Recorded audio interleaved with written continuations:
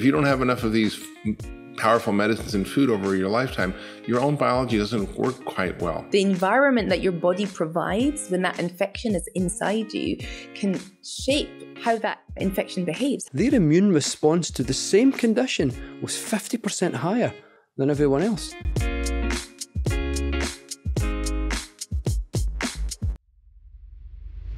Started using these principles on myself and started healing myself. I started using my practice and healing patients, and I, I was sort of shocked, like, wow, your rheumatoid arthritis went away when you did that, or your migraines went away. You've had, you know, three times a week for 20 years, or your irritable bowel, or diabetes just went away, or memory got better. If you had Alzheimer's, I'm like, what is going on here?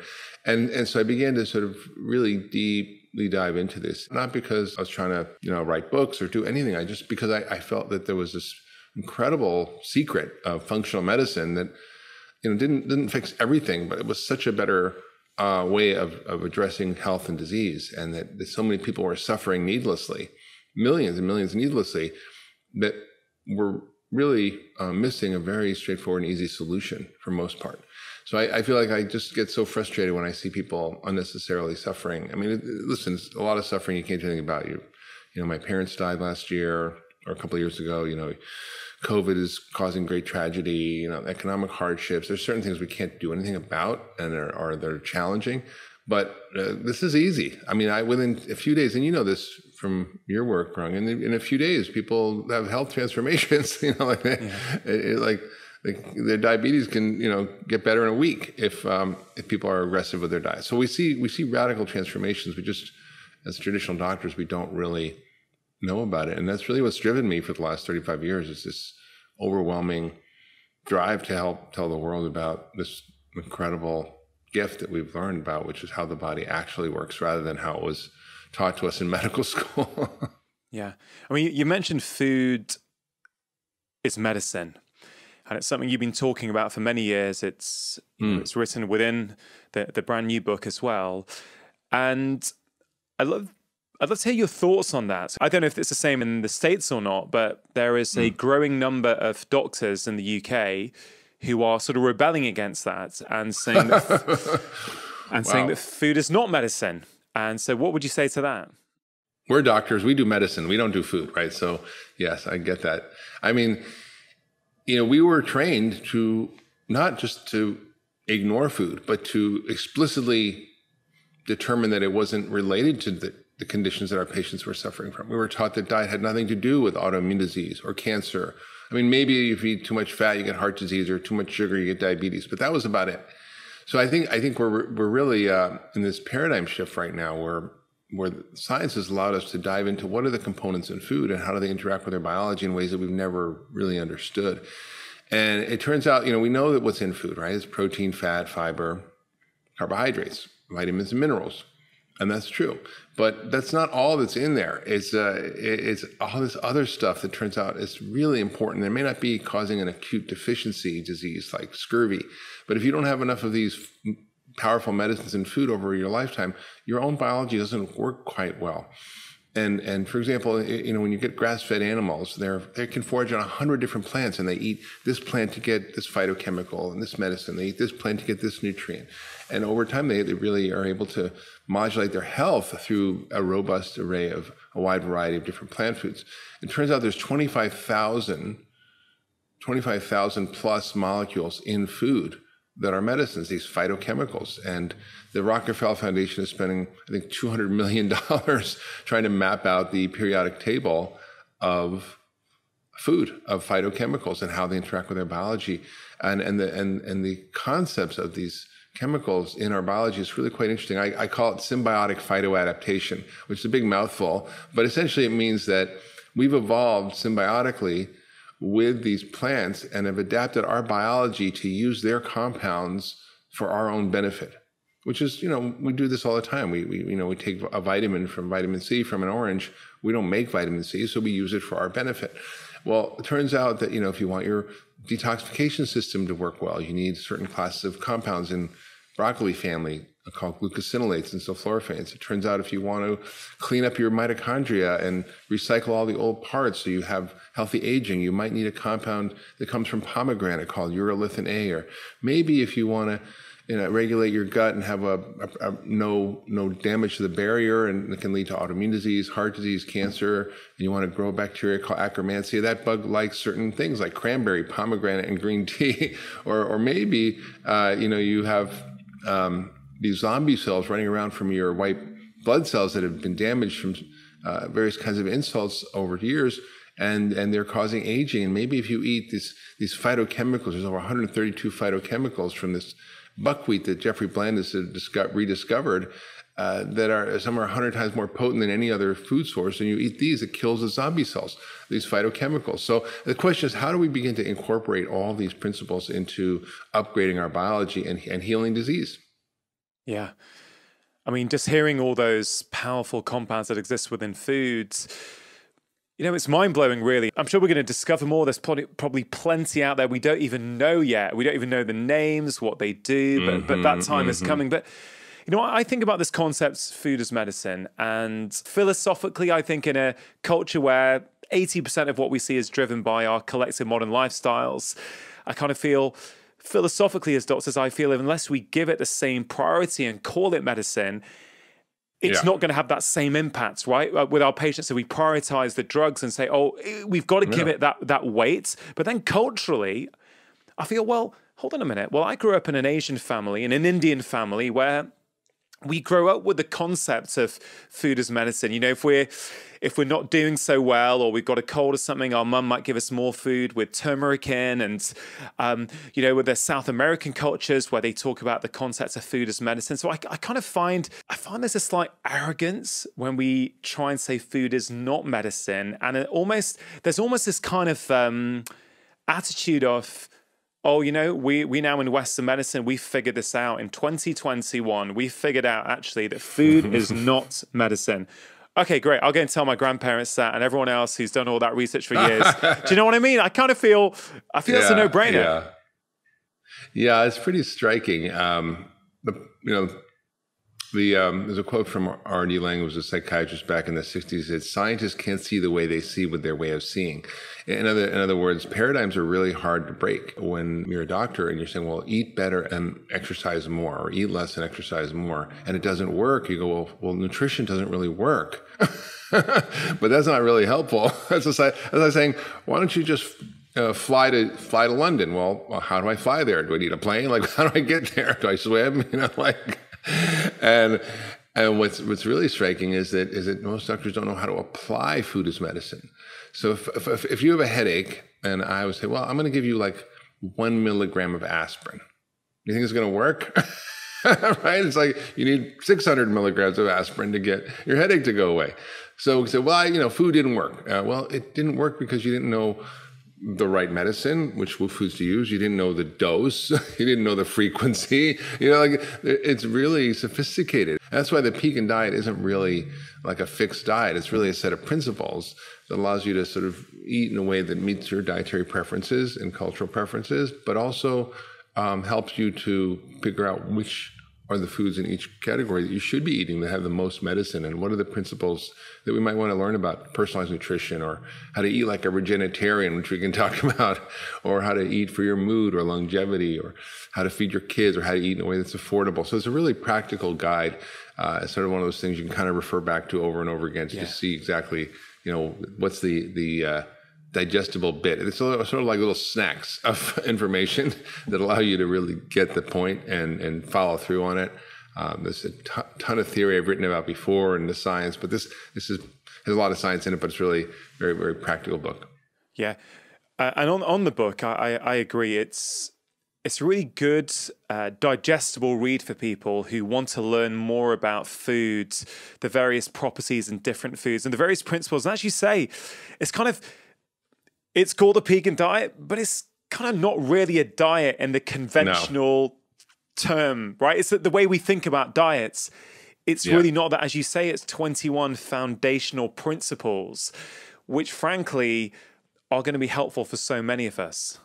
Yeah. I mean, that, that's sort of the joke of it all. That's like when we're in these different diet wars and diet camps, we're all fighting with each other. And I, that's how the this whole name came. I was sitting on a panel with a vegan cardiologist and a sort of a militant paleo doctor and they were fighting. And I'm like, hey, if you're paleo and you're vegan, I must be pegan. Everybody cracked up. And I thought, okay, well, there's something here. And I went home and thought about it as I was flying home. And I was like, wait a minute, they're, they're identical. They're exactly the same principles, except for one, which is where you get your protein, which is animals or grains and beans. Otherwise, no dairy, no sugar, no processed food, whole foods, vegetables, good fats you know, all the same principles except uh, except that one. And and the truth is, they have far more in common with each other than the traditional American diet. And so I began to sort of realize, wait maybe we can all come together with with a, a, movement that actually helps to you know crystallize what we do know and and then personalize it. And that's really the whole point of the Pegan diet. Instead of an undiet, it says, wait a minute, if you're focusing on i mean the traditional american diet yes that's that's an easy sort of win uh, but if, if you're you know keto or vegan i mean how do you be a healthy vegan i see i see people running into trouble with that all the time and so you know i talk about how to do that in the book so i think it's really uh, kind of a fun little uh, sort of kaleidoscope and it's actually someone someone someone has said to me after said dr hyman there's no chapter on weight loss and i said that's right i said there's no chapter on weight loss because I never tell patients to lose weight. I just don't. I, I, I, don't actually think it works, and I don't think it's helpful advice. And I think what I teach them is how their body works, how to work with it, and the weight loss is automatic. I don't I don't say starve, starve yourself, restrict calories, and eat these foods, don't eat these foods. This is really what is going to help you thrive. And people just have the most amazing results. I mean, literally 100 pounds, 50 pounds, 75 pounds. It's really pretty amazing. But it's never it was never a goal. And I I, I think uh, you know it was sort of shocking to people that there's a book on diet with no no no mention of weight loss. but that's how it goes. Yeah. No. Absolutely. So there are all these principles in the book. I want to sort of dive into some of them. Uh, and you mentioned eat like a regenetarian, and I think that would be, I think that would be a good place to go into. Um, let, before we do that, though, Mark, can we just sort of set out the the foundations of the Pegan diet. You know, uh, you, you sort of touched on a few of those principles. So for people who are coming to your work for the first time and are trying to understand, well, you know, what is the component? You know, is it paleo? Is it vegan? You know, what is it? What are these sort of foods that you're recommending? How would you sort of simplify the concept for them? Yeah, it's it's really pretty easy. I mean, it, it, it's embarrassingly easy actually because it's it's like people aren't going to really be able to sort of disagree with anything because it's all pretty common sense and straightforward. So the first thing is, you know, really use your food as your pharmacy. So when you are eating, think of what you're eating as medicine. Are you eating a French fry that's fried in rancid oils that's you know got 14 different ingredients in it uh, that is going to kind of fry your arteries and you know cause all kinds of problems? Or are you going to eat let's say a wild blueberry and it has all sorts of phytochemicals and so forth. So how, how, do you how do you begin to sort of think of food as your medicine? The second is you want to eat a lot of medicine, so eat the rainbow, which is essentially all the colors in plant foods are where all the benefits are. So the more deeper, darker colors and pigments, that's where all the phytochemicals are. And also think about your diet as mostly vegetable, like it should be 75% non-starchy veggies, which is uh, really what the majority of your plate should be, a little side of protein. Um, when you're picking any kind of category of food, whether it's beans or grains or nuts or seeds, um, it's important to understand which ones in each category are the best. For example, peanuts might have aflatoxin, which you want to stay away from, or be careful when you source it. Or, you know, you probably don't want to eat a lot of the gluten in grains here, but if you're having heirloom grains like rye or maybe heirloom wheats that might be okay because they're less inflammatory and so forth. Or maybe you have gluten issues and you shouldn't eat it at all. Um, or which beans are the best beans, or which which seeds are the best seeds, and so forth. And then uh, I have a, a, whole section there on on uh, you know meat, which is I think a little shocking for people, but it's talking about how to eat your meat as medicine. Um, and and some of the research on this is just stunning that, that, that these uh, grass-fed animals have high phytochemical contents, just like plants, and they have all these health benefits. So we're, we're learning more about it. but This is out of Duke. Um, so whether you're eating any kind of protein, how do you pick the best eggs or chicken? How do you how do you understand uh, what are the right fats to eat? How do you think about dairy, which is you know really often a big problem, and it's and the modern cows we have are pretty harmful. And then there's some you know just guidelines on how to eat in a way that's good for you, but not only good for you, but good for the planet and good for society. Like eat like a vegetarian, or you know think about uh, sugar is fine, but it's like a recreational drug. Or, you know, how do you uh, personalize your nutrition or detox or uh, eat for your gut or eat for longevity or mood or or how do you afford what you're what you're doing in a way that actually is makes it doable because it doesn't have to be expensive. So it really guides people through a way of thinking about food that it, it will last them as a roadmap for their life. You mentioned meats there. You mentioned phytonutrients. So let's just let's just start off explaining what phytonutrients are, and then I agree that that that selection on meat is really fascinating, and you know, meat has become one of these controversial items as well. And one thing I do know, Mark, like myself, you're very respectful of people's individual choices, their ethics, and how they choose to live, and and their cultural beliefs. So yeah, just walk me through phytochemicals, but then also let's then go from that into meat and how meat potentially might be medicine for some people. Yeah, for sure. I mean, before we get down in the weeds, I just I just want to say that you know I, I my personal goal is to live healthy and vibrant to be 120 at least. So I, I don't want to eat a meat or anything else if it's going to hurt me. So I, I took the time to really dive into all the research. I locked myself away for a week with you know stack of scientific papers, you know, four feet high, and went through it all, and these are the. I mean, there's hundred thousand papers online on meat on the National Library of Medicine. But if you if you find the major ones, you can find, you know, what does it say and what does it not say. And really, there were three issues. One was um, moral and ethical, um, and and the other is in, in climate, environment, and the last is health. And so they're all kind of smushed together, right? So if you want to be saving the planet, if you want to be healthy, and you want to do the right thing morally and ethically, you should be a vegan, and that, and everybody should be vegan because that kind of deals with all that. But unfortunately, it's not so simple. Um, and and and you know, kind of getting back to like what is meat uh, and, and phytochemicals, it, it, it also sort of speaks to the theme of the book, which is meat is not meat is not meat, right? If you're eating a feedlot cow, it's different than eating wild elk in terms of your health, the well-being of the animal, you know the, the effect on the environment and climate. So people need to understand that quality matters in every aspect of what you're eating. And that's the whole premise of the pegan diet is how do you pick quality in each area? So in terms of meat you know most of the meat that's eaten and consumed and even that we have done research on is feedlot industrial meat which is fed all kinds of weird garbage uh, and is is really full of, of uh, hormones, antibiotics, and it's mostly corn. But wild wild or grass finished animals uh, can forage on hundreds of different plants, each with medicinal properties, and those chemicals from the plants, these phytochemicals, we call them phytonutrients or phytochemicals. Phyto means plant. They get absorbed and they they start to become part of these animals' tissue, and you eat them. You actually can get, for example, for example, goat milk. If the goats are foraging on different shrubs uh, you can have the same level of catechins, which is the powerful anti-cancer, antioxidant, detoxifying compound in green tea, as green tea. so, so it's like drinking green tea when you're drinking goat's milk that's fed on certain bushes. That's just an example. But we're learning more and more about, about these powerful medicinal properties and, and how it affects your biology. And if you look at kangaroo meat versus feedlot meat, in a study in Australia, they found that when they eat the feedlot meat, same portion, they got inflammation. When they eat the kangaroo meat, their biology was totally different. They actually reduced the inflammation. So that's kind of striking to me when you see, you know, eating identical amounts of food, kangaroo, feedlot, profoundly different effects on biology. On that, Mark, in the in the spirit of the book, which is, um, you know, Pegan bringing in, you know, paleo and vegan, and where the where the sort of similarities are. Yeah. And where do we all agree? I think one thing we can all agree on, no matter what side you sit on, on and the dietary wars potentially, is that factory farming is a bad thing. Would you agree with that?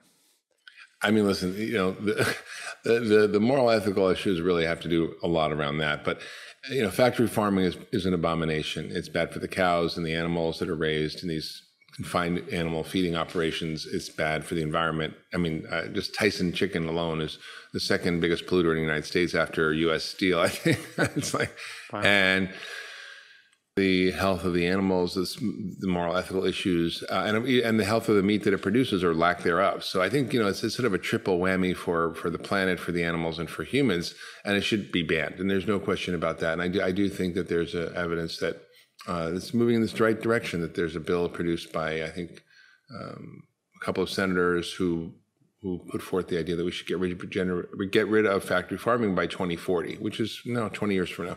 So I, th- I think we're we're heading there. Um, but I think yeah, it's an abomination, and we should never eat factory farming.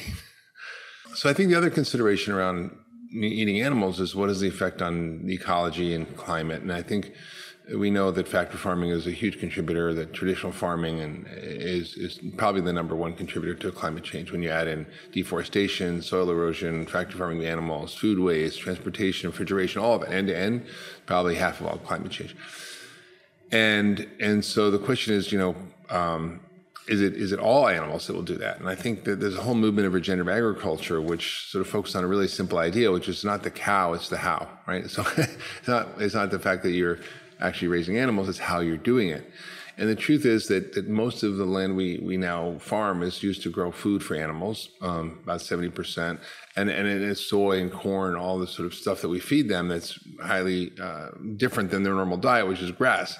And it creates all sorts of secondary problems, changes the quality of the meat and so forth. But the, but the way we grow these foods actually destroys the soil, uses up tons of water from irrigation, it causes and collapse of ecosystems and biodiversity because of the use of pesticides and herbicides. It, the nitrogen fertilizer runs off into the rivers and streams and oceans and kills hundreds of thousands of tons of fish every year. So we, we really have this sort of destructive agricultural system that that is often used to produce food for animals, and then that, that's just a bad idea because the way we grow it is the number one cause of climate change and how we do that. So I think we need to sort of change what's happening with the animals and put them back where they belong, which is on rangeland. And 40% of our land of agriculture says, well, we should just grow vegetables. Well, you can't. 40% is is not uh, suitable for growing crops. It's only suitable for grazing. So what do you do with that? Well, you have to put animals on it. Turns out that they will build soil, they'll conserve water, they'll, they'll reduce it or eliminate the need for pesticides, herbicides, and they will draw down carbon out of the atmosphere because the soil gets built uh, and produce better quality and, and even more scalable than, than traditional agriculture right now for, for animals. So we have this potential, and everybody's talking about it. There's movies like Kiss the Ground, there's books on it, there's, there's conversations that are happening in Washington, D.C. now about it. So I, th- I, think we're, we're on the precipice of a, re- a, real sea change around thinking about how we grow food in a way that's regenerative. And, and, and meat has got to be a key part of that. You can't have an ecosystem on a farm that actually builds soil without actually having uh, animals poop and pee and you know put their saliva on the grass, which makes it grow. It's like actually a growth factor for the grass. So we want to keep building roots and building soil, and, and that's really through the the kind of reuse of animals rotating through a farm ecosystem. So I, th- I think we have to sort of think about all these pieces. Now, the last piece is health. So um, if people are thinking, oh well, meat's going to kill me, I don't want to eat it, it causes heart disease and cancer.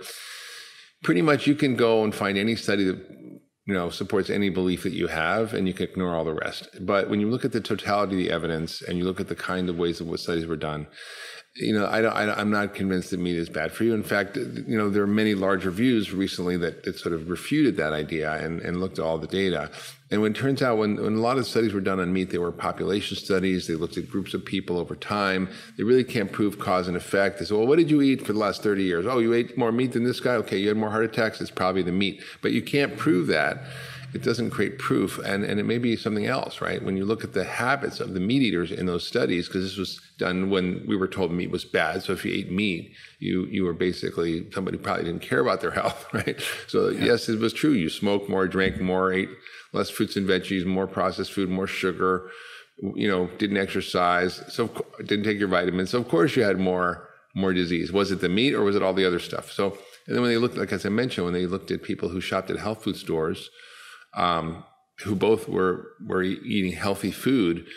Some ate meat in the context of a whole foods diet, others just didn't, and there was the same reduction in death in both groups by half. And when you look at cultures like the Maasai, you know, live on milk and meat, they live very long, they have very healthy, but they also do something really interesting. Was they actually it's not even necessarily how you how you raise the animals, it's maybe how you prepare the meat. If, for example, if you're cooking it on a high char grilling, that's probably not good. There's slow cooking with tons of spices. Those spices have phytochemicals that alter any kind of harmful reactions that can happen from cooking meat. So there's there's a lot of uh, incredible science around how we actually can include meat as a helpful part of our diet. In fact, probably for most of us, we probably need to, especially as we age, because it's very difficult to build muscle without adequate protein pretty much every chronic long-term health complaint stroke condition that we have yeah in many ways the immune system plays a central role. And I don't think people realize that. No, no. Why do you think that might be? I mean, when I was an undergraduate and learning about the immune system, it was through the lens of infection protection. And that kind of is a historical thing, you know, from maybe over 100 years ago when the first kind of ties were made between these white blood cells and susceptibility to infection. And we've just always maintained this lens through which we look at the immune system as protecting us from infection. And then suddenly you start to dive into the field of immunology and you realize it's not just protecting us from infection, it's doing a whole array of other things. And I, I kind of, um, like to move away from that military analogy we often have about the immune system as going out to battle off the germs because most of the time it's not doing that. Most of the time it's kind of like your housekeeper. You know, it's just taking care, it's working hard, it's it's learning from your environment inside and outside and it's processing all that information and it's maintaining the kind of status quo yeah. in your body. Yeah, I like that. I, th- I think a lot of us do think um, still to this day that oh, if I get cold symptoms in November, mm-hmm. my immune system in inverted commas kicks in yes to fight it off exactly but the immune system is constantly running it's constantly working it? yeah right now as we sit here it's working hard it's involved in so many processes you know like cells in your body have a finite lifespan. So eventually they die and they have to be disposed of. And special immune cells are removing those and keeping things tidy. They're repairing damage when it happens, yeah. even if there's no infection. So last year I broke my arm but I didn't rip the skin open.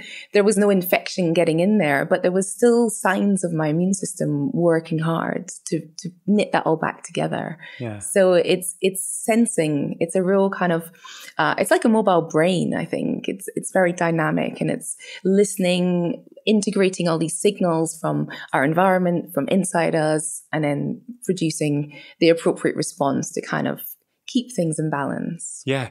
And what's fascinating for me is that, and I hope we get into this today, is that it's not something passive that we have no influence over. There mm. is a lot that we can do, a lot of it quite simple stuff. Yes. That can positively impact how our immune system works. Yes, and I know you've you you know you you you basically done a fabulous job of summarizing it in your in your book immunity the science of staying well which is well worth a read i think for anyone who's interested mm-hmm. in learning more about the immune system and how they can use lifestyle to help them. So mm-hmm. well done on such a great job. Thank you. Let's sort of dive in some. Should we should we start with food? Yeah yeah exactly. I think that's a good place to start. I put the food chapter at the end because i was really sick of seeing, you know, the whole immune boosting food supplement, whatever being pushed on, you know, the media, social media, everything. So I was kind of like, people are going to want to open a book about immunity and expect to see on like the first page, vitamin C does this to your yeah. immune cells. So take a vitamin C supplement or eat these vitamin C rich foods. And I kind of just wanted to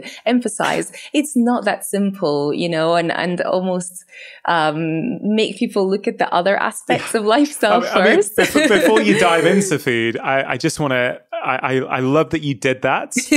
and um, it's what I did in the Four Pillar Plan, my 1st mm-hmm. book. I thought I'm not. People are expecting this will start with food. I'm not going to start with yeah. food. I'm going to start with stress because I think that's what no one's thinking about. Yeah. But then I'm interested. So you did that in your book, but when the book came out, yeah, and you started to write you know, articles or a bit of yes. PR in newspaper columns. Yes. I bet you, or I'm going to guess, what were they wanting you to say oh, and definitely. write about? Yeah, it was all about, you know, uh, my book came out in March, which was, you know, COVID pandemic, you know, going through the roof. So all of the press and publicity was, you know, how can we make ourselves invincible to COVID? What what supplements can we take to be invincible? and I was going to let everyone down and say, well, you know, nothing's going to make you invincible because from the dawn of time, we've always had this battle with with germs. You know, like they're trying to infect us, we're trying to keep them out.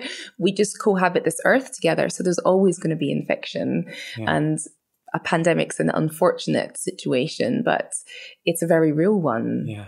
I mean, I'd love people just to sit with what you said there, which is we all cohabit this earth together, us mm-hmm. and the bugs. you know, it's it's really quite profound that. Mm-hmm. You know, mm-hmm. it's not I think humans have we've we've often felt I think particularly in the times that I've been around on, on planet mm-hmm. Earth that you know we kind of know best and we sort of we can dominate everything around yeah. us but i think we're learning well we mother, don't mother nature's right.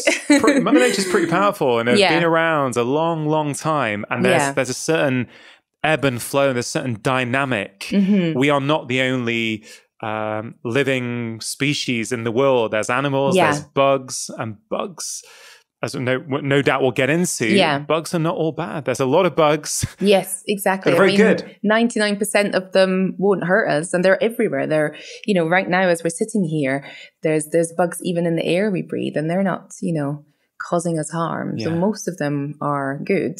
But there's the obvious ones that come along and, um, you know, sideswipe you like um, SARS-CoV-2 has. Yeah. Uh, as a sort of reminder, a stark reminder that yeah, infection protection is really important. Yeah, and I, th- I think I think the the thing I would sort of reiterate to people is what I think the last few months have highlighted for mm-hmm. us is that looking after your immune system mm-hmm.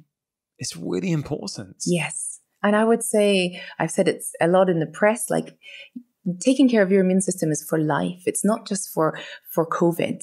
You know, suddenly everybody's really interested in it. There's lots of marketing of immune boosting products. You know, all of the supermarkets and, and pharmacies were sold out of vitamin C supplements at the start of the lockdown. Um, but it's something that we should all have been thinking of before COVID because it's it's it's for the long game. You know, immunity is really entwined with how we age. So, yeah. you know, if you want to live a long and, and healthy life, uh, we are as a population living much longer than the generations before us but we're not necessarily living better. So if you want to, you know, I don't necessarily want to live forever, but I want to be able to enjoy my years and feel well and yeah. not be sort of burdened with chronic disease. And we can't bulletproof ourselves, but there's definitely things we can do now that, that are for the long game. And that, when I wrote the book, it was before we knew about um, the current coronavirus pandemic. So I was really hoping to try and get people thinking about the long game for their yeah. health. Yeah. Well, I, I, you know, it, I'm sure in many ways, people, if they weren't going to take it seriously before, mm-hmm. are really going to now. So yeah. that would be our hope. So, in terms of the things people can do, yeah. Uh, if we if we sort of dive into diet and food, then exactly, um, what are some of the things that people can do to help their immune system? Yeah, well, I mean, there's a sort of ones that people often think about, which is vitamins and minerals. And we have a whole um, selection of essential, we call them micronutrients. So the vitamins and minerals that we need to function. And if you're deficient in any of those, you will impair your immune system. And I think that there's certain ones that are highlighted. So vitamin A, the B vitamins, vitamin C, vitamin D, and vitamin E. But you could sort of say that taking more than than you need if you're not deficient isn't going to make your immune system work better than it already does at its baseline but the sort of subclinical deficiencies in our populations are not really clear. It's very hard to measure. You know, if somebody has an overt deficiency in vitamin D, you would see it clinically as rickets.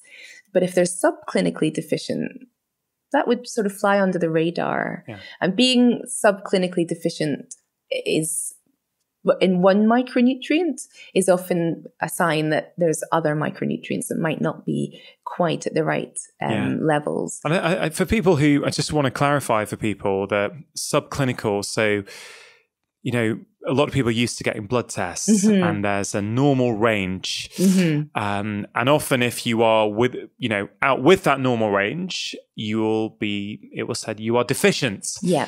Um, but we're learning more and more. Like B12, for example, is a, a prime example for me. That the normal range is so big. Yeah. You know, it's something like you know 200 ish to 700 or 800, depending on what lab you're mm-hmm. in. But for some people who are at 250, although it's technically normal, mm-hmm. actually it, they're symptomatic with it. Mm-hmm. Like they can have. Um, you know, they can have all sorts of things fatigue, they yeah. can have confusion, they can have muscle aches.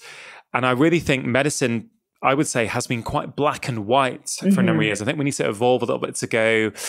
There's optimal. Yeah. You know, there's normal, there's abnormal, but there's also optimal. Yeah. And and and, and I think I think that's just a really important concept for people to grasp. Yeah. And I you know, um if you're if you know have problems with any of these micronutrients the vitamins and minerals it's going to impact your immune system. So it's not so simple as saying i'll take a vitamin c supplement and that's going to make me more invincible. So it doesn't quite work like that.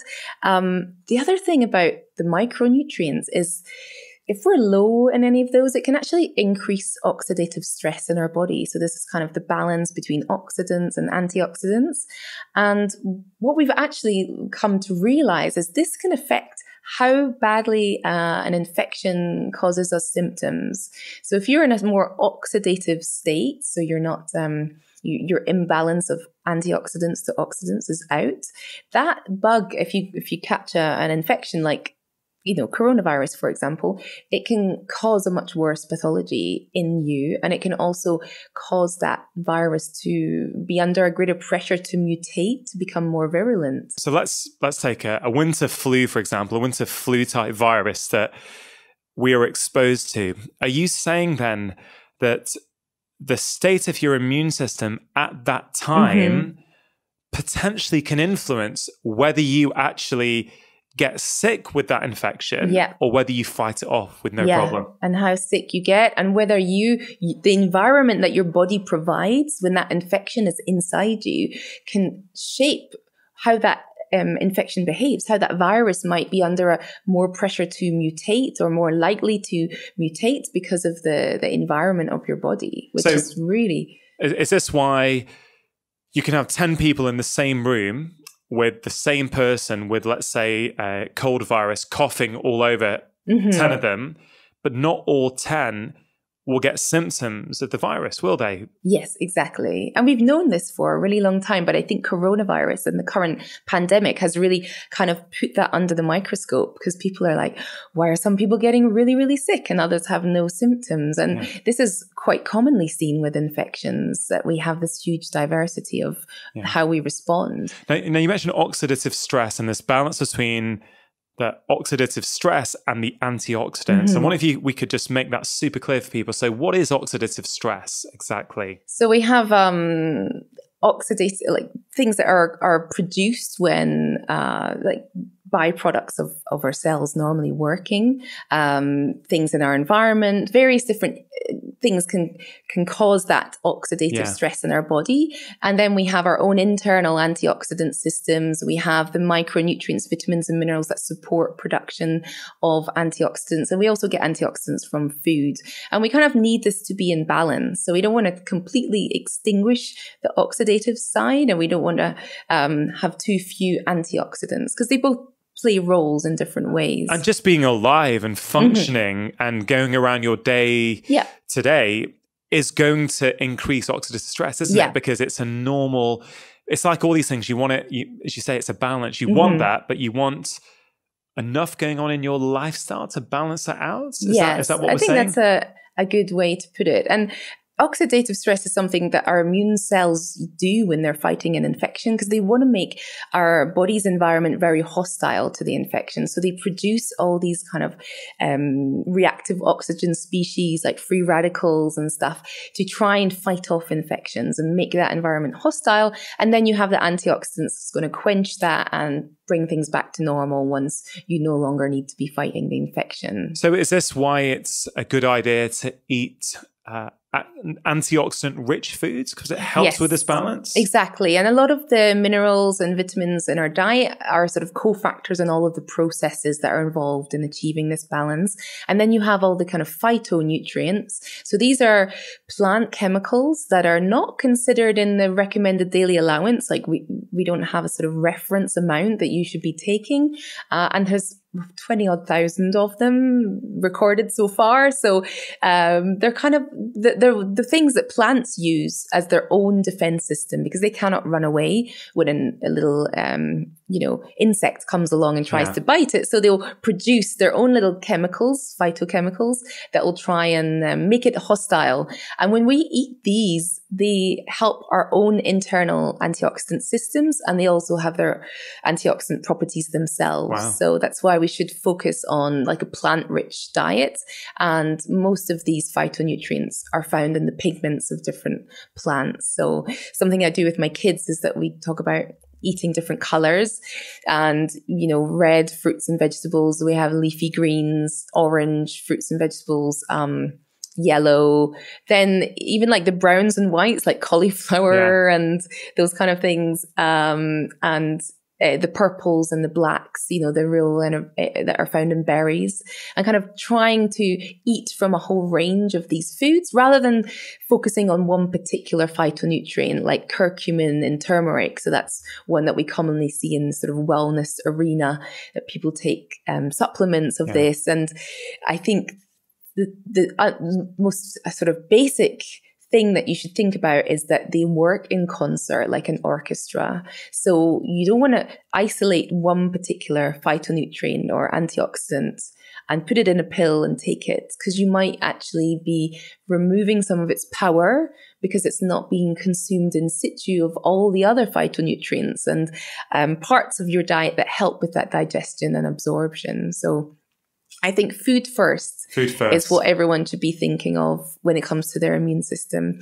Trying to get your nutrition from foods so that you're not deficient in any of the micronutrients, which are the vitamins and minerals, and then getting all these phytonutrients, which are kind of like the icing on the cake to really um, nourish our immune system. And they have their own natural antioxidant properties. Some of them are antimicrobial, antibacterial, anti inflammatory, and they're often considered longevity compounds. So we know that we don't need a certain amount to be able to function, but we know that over the course of a life time they're very important yeah. for longevity so and you know food first seems really simple and if you have a chronic condition or some underlying health problem then you might that might not be an approach that works for you but i think that is the best thing that we can sort of aim for. I think that's a nice approach. It's it's saying, look, there may be some value in some supplements at some time, depending on your mm-hmm. state of mm-hmm. health. But let's get the basics right first. Yeah. Let's focus on food yeah. first. And it's the pattern of the, your diet, it's the consistency. It's not what you ate this morning, but what did you eat all week? What did you eat all month? You know, maybe you had a few meals that were not the best, but if the majority, if the pattern overall is is strong, then I think that's that's what you need to be looking at rather than getting stressed about every meal being perfect. Yeah, and that's a very empowering message I think for people because you know we are living in stressful times. People mm-hmm do sometimes struggle with energy or motivation mm-hmm. to you know cook that perfect meal yeah. that they want to but your approach is saying look that's okay right don't beat yourself up if yeah. if now and again you have a meal that isn't let's say what you would ideally have okay fine yeah. maybe enjoy it you know exactly. don't, don't feel guilty about it yes but try to make most of your meals as much as possible yes exactly um, you know natural minimally mm-hmm. processed foods. I would like. I think so. One of the one of the tips you're saying is colors. Focus on as many different colors. Yep, exactly. Rather than maxing out on one color, yes. you're saying go for a variety. Go for a variety. And the other thing is, you know, food eh, when you focus on food first it's it's conveniently packaged up with other things that your body needs.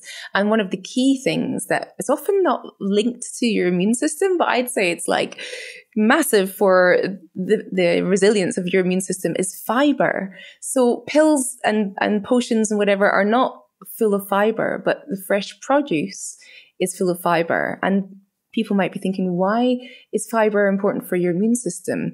Because your gut bugs, the microbiota at the interface of your digestion and the rest of your body are one of the key educators of the immune system. And again, this is something that's probably exploded in the field of, of immunology in yeah. the last 10, 15 years.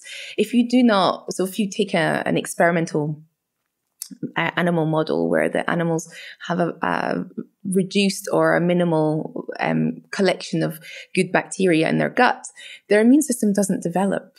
And they're very impaired in how they can respond and heal. Um, and even things like, you know, protection from cancer because our immune system is the main cancer surveillance system. So these bugs are helping to educate and teach and mature our immune system. And this happens potentially in utero before we're born, but uh, predominantly when we enter the world because we go from a relatively sterile, there is some evidence that there may be yeah. some bugs in the placenta, uh, but we go into this hugely germy world and suddenly our immune system has to cope with that because you know it, it's um, it's got all these receptors on it to to detect pathogens as being problematic. So it has to learn to tolerate those because, you know, most of the bugs around us are safe and harmless and we need them because they're helping us. And, that's actually how the immune system develops, isn't it? Mm-hmm. it is by exposure mm-hmm.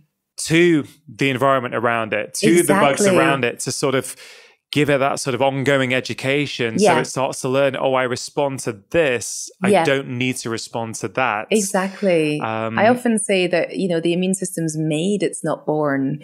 There's maybe a percentage in the genetics that we inherit but then it's made it's built throughout our life and it changes throughout our life. So that's a lovely idea. It's yeah. made not born. We can we can build and we can sort of develop it mm-hmm. the way we want to if we give it the we, right yeah.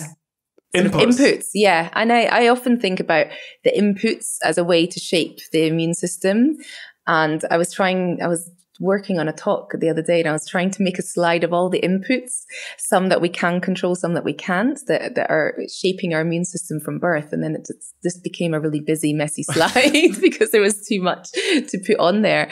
But yeah, a, a lot of it happens in childhood. And in some ways, I find that quite daunting as a mother and you think well you know there's sort of first 3 years i would say is when you're being colonized by all these good bacteria and there's huge changes going on in the immune system during that time yeah. um, and there's this kind of interaction happening these bacteria they help protect the gut barrier to keep it very nice and, and tight and stop any bacteria going into the body because they're only good bacteria if they're in the right location. So they're not meant to cross over the gut and enter our body. Yeah.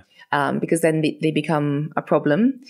Um, but one of the biggest things that they're doing to help our immune system is they're they're eating our foods.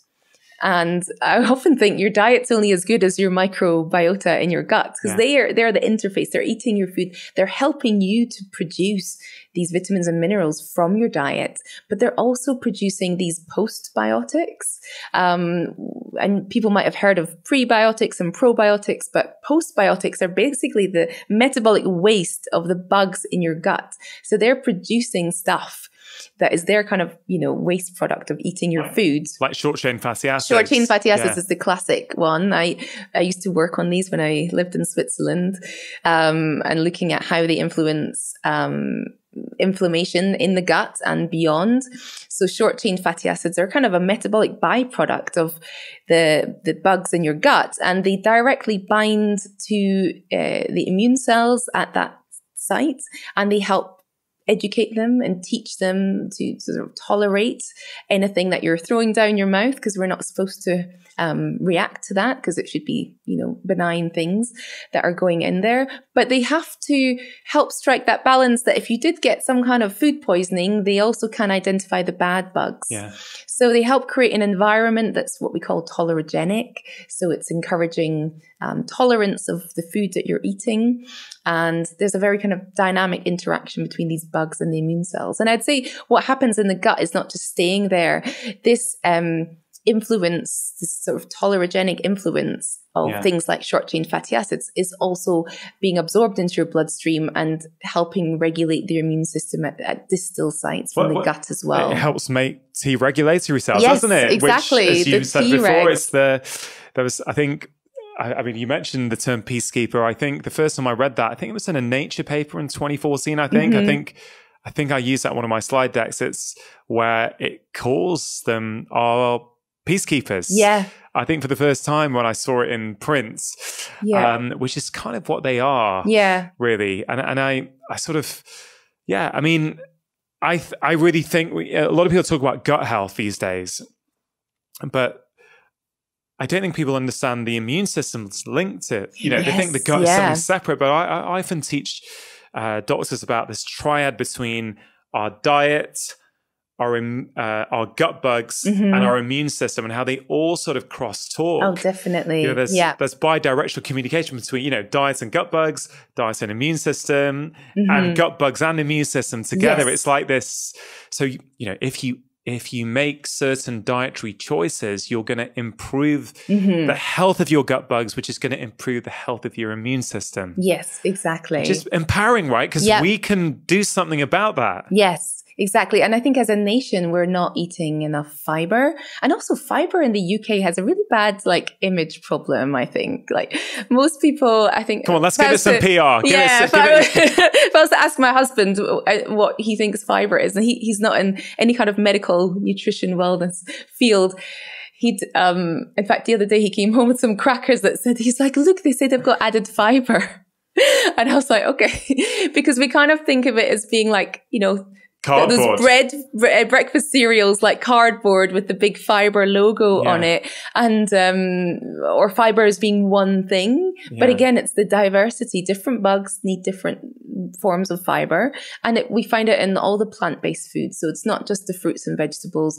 nuts and seeds, legumes, beans, pulses, and and whole grains. Yeah. And it's about trying to bring in the diversity. I think in the last few years there's a, a publication about the sort of th- uh, trying to get 30 different plant-based foods yeah. into your diet because it's, per it's week. about per week yeah because it's about the diversity but that also it's that includes i think lentils and mm-hmm. nuts yeah uh, you know and you know, I, I, think it's very achievable. Yeah. Once people have it in their mind. Exactly. To, yeah. To do it. And they're very common in, in traditional diets. I remember growing up, you know, my mum would, would add lots of different, um, grains and beans and pulses to spin things out, as she put it, so that you yeah. could make a dish go a lot further. Yeah. Wonderful advice. Um, so, so far we've said that lots of different colors, lots mm-hmm. of different diversity of plants is going to help your gut microbiome, it's going to mm-hmm. help your immune system.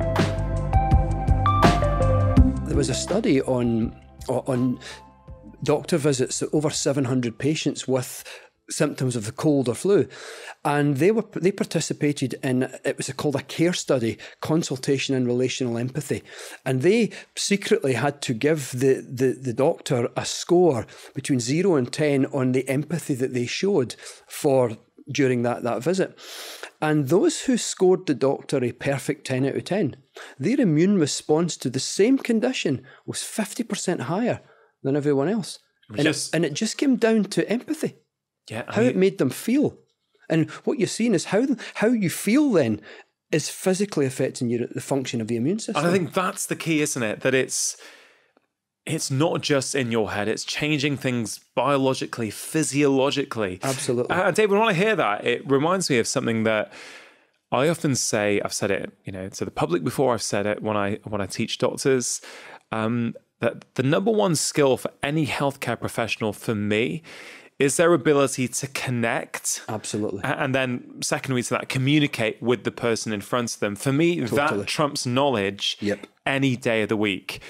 And I've just seen that time and time again. And that sort of fits in with what you're saying, right? That if it's empathy, it's empathy. If you feel as a human being, if you feel heard, if you feel listened, absolutely, it, it does something. You know, A, you're more receptive to hearing what comes next. Mm. So I would say it's connection first, education second. Yeah. Because when you've connected with them and they feel heard by you, they're open to listening to what you have to say. Absolutely. Whereas if you just go charging in and say, look, you need to lose weight and get to the gym a bit more, you know what?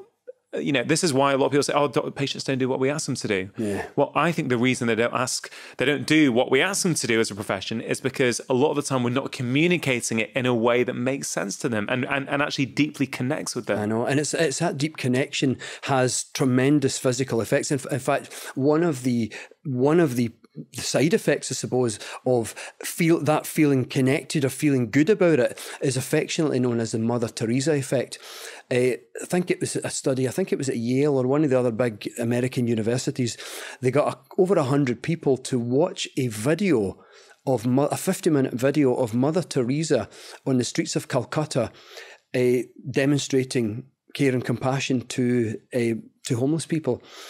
And at the end of the study, their levels of a little immune antibody in the saliva called SIGA went up by about 50% for no reason other than just watching the video. And it stayed elevated for an hour or two afterwards. And that's because for the hour or two afterwards, they were still talking about, didn't remember that part when Mother Teresa, she sat down beside that old, really elderly gent and they didn't say a word. She just sat beside him. She took his hand and laid her head against his shoulder just so that he wouldn't feel alone at that time. And just that emotional bonding experience of watching them on that video spiked the immune system. It just lifted that little antibody level. So, so it's not just the person who received that; it's also if you're watching Absolutely, that. it's watching it as well because it comes down to how it makes you feel. If you can feel a sense of connection from being the person who, in this case, is delivering kindness or compassion, being on the receiving end, or watching someone else, whether it's live or even on a video, it has more or less the same effect. Uh, and I guess you know that could be why you know, if you watch a really good film that really moves you and connects you, and you feel like crying, or you feel like you're really Absolutely. connected with it, yeah, I don't know. That's been studied, but I wouldn't. It has be, actually. Has it? So uh, there was a, a clip of of Oprah Winfrey during the time of the Oprah show, and she was she I, I, forget what the exact nature of the clip, but she was really changing people's lives, and it was something to do with a school teacher in a class, and what people watching it were moved to tears and felt so uplifted, and it produced high levels of what I call the kindness hormone, oxytocin. It's also called the bonding hormone, the hugging, the cuddle chemical. But it produced high levels of that simply by feeling and moved and inspired by watching a, a, like a five minute clip from from what used to be the Oprah Winfrey yeah. show. Yeah, I mean it's really incredible, and this is right up my street. Honestly, mm. this is.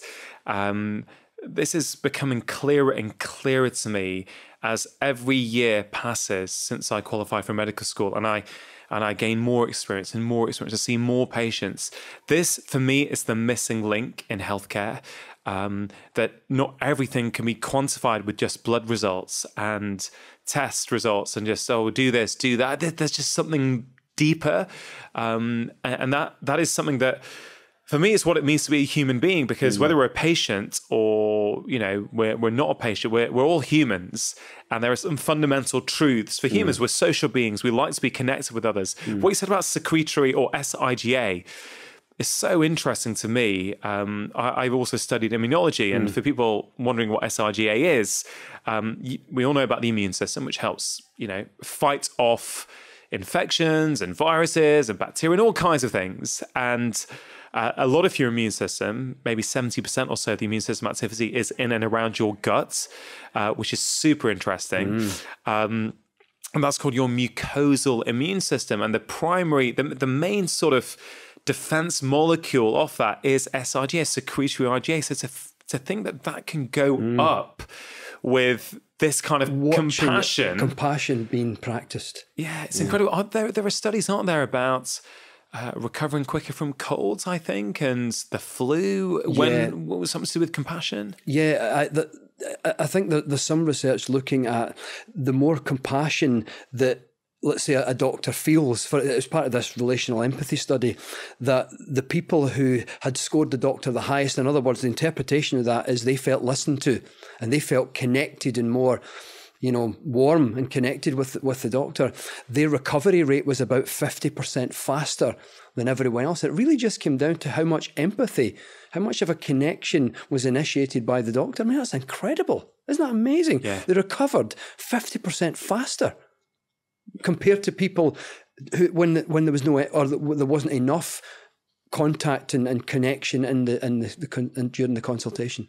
Yeah, I find I find the idea that it's not just the giver, but the receiver or the watcher also gets the biochemical change. And um, I, I don't know if you're familiar with someone called Professor Francis McGlone. No. Uh, I interviewed him on the podcast about a year ago. Uh, he helped me actually write uh, the chapter on touch in my second book, The ah. Stress Solution. He's, he's one of the world's leading researchers in touch, basically. Oh, lovely. And he's done some incredible, you, you, should check it out actually, because it's completely aligned mm. with a lot of the work that you do. Oh, cool. um, and he talks about, you know, these two different kinds of touch nerve fibers. You've got one, which is the fast one, which simply tells you where you've been touched. Mm. You know, you know, if I yeah. touch you on your forearm, you know, you oh, it, yeah. Rangan has just touched me on my forearm. But if you stroke someone on the forearm, it does something completely different. Absolutely. and well, I mean, his his work has shown that it's a different kind of nerve fiber. It's called the the CT afferent that goes up to the a different part of the brain, the emotional brain. And when yeah. you when you get that stroked, oxytocin levels go up, mm. blood pressure goes down, Absolutely. heart rate goes down, yeah. natural killer cells, which are part of your immune system, go up. Amazing. I think 50 to 70%. yeah. So we're seeing a, a, similarity here, but also that most of those uh, C tactile afferent nerve fibers, so that that slower nerve fiber that tells that gives you that nice warm, mm. cuddly feeling, mm.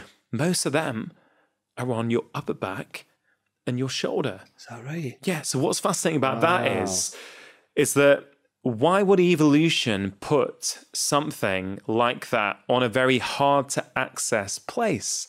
Well, his view and my view is that, well, it must have been there to promote that sort of social connection. So you would have to be with someone to stroke you there. Yeah. And so the touch giver you know, gets just as many benefits as the touch receiver. People mm. who've got a uh, pets, you know, stroking your pet makes you feel good, but it also makes your pet feel good. But mm. this is not just in your head, or oh, it feels good, right? As you're showing, and as uh, Francis McGlone has shown, it changes things biochemically. Mm. And for me, it's fascinating. It's the same hormone, oxytocin. So, know.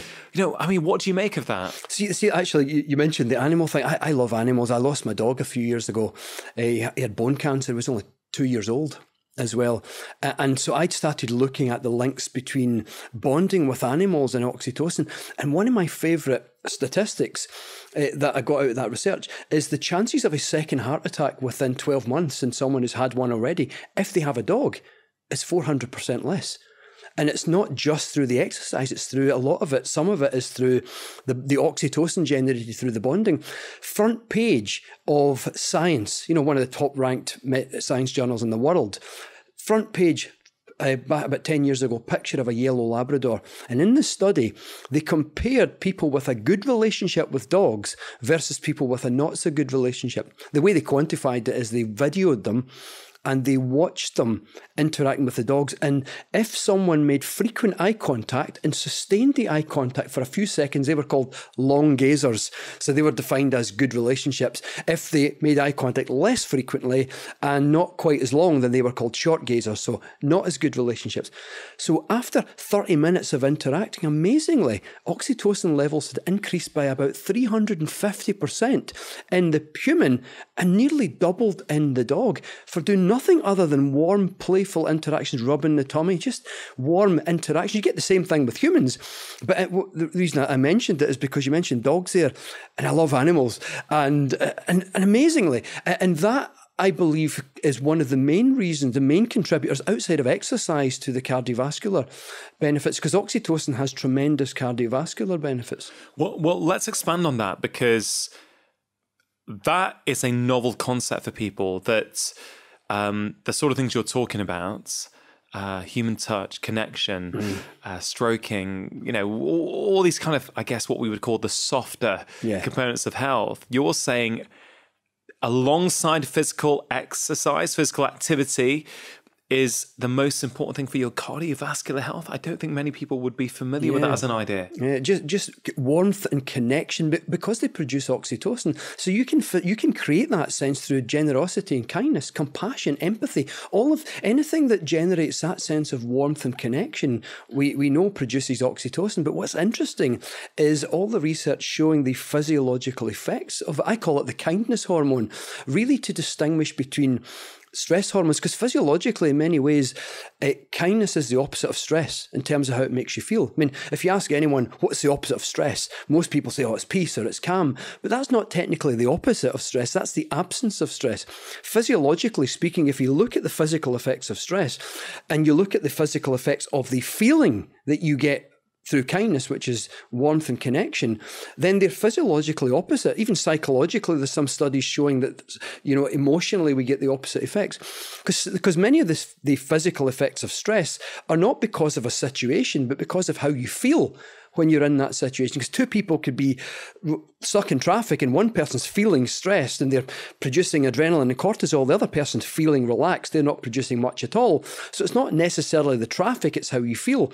So if the feelings of stress generate stress hormones, but when you be kind and those feelings you get of warmth and connection, they generate oxytocin. I call this them. I call it a kindness hormone to make that distinction that it's a physical, it's a hormone that gets produced because of how you're feeling in that moment, which you initiate through empathy, compassion, touch, emotional warmth, any any any of these soft behaviors, and, and understanding this explains a, a large body of research that we knew the, the trend in the past, but we didn't know why it worked that way. For example, why people with better quality relationships have better cardiovascular systems, why things like hostility and aggression is correlated with higher levels of hardening of the arteries. We didn't know why that is, but now the evidence seems to suggest that, you know, aggression and hostility, for example, reduce levels of the kindness hormone oxytocin. And therefore, we, we take away a vital part of cardio protection because oxytocin is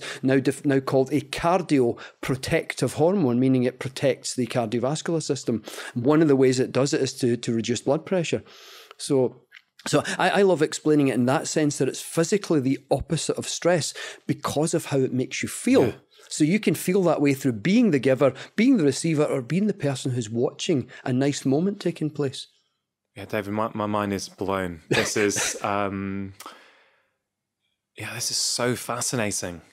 So fascinating. And I'm drawing all kinds of connections in my head over things that I've been talking about for years, things I've noticed with patients. And this is filling in a few more gaps and it's all starting to knit together. Um, you know, you may have seen the study, I think it was published three or four years ago, which suggested that the feeling of being lonely is as harmful as smoking Absolutely. 15 cigarettes yeah. a day. Incredible. It's incredible. But then when you try and make the case that uh, oxytocin might be the cardioprotective hormone, then suddenly it's all starting to, to make sense. But I guess we have to we have to look at things on an evolutionary or through an evolutionary mm. lens, really. Yeah.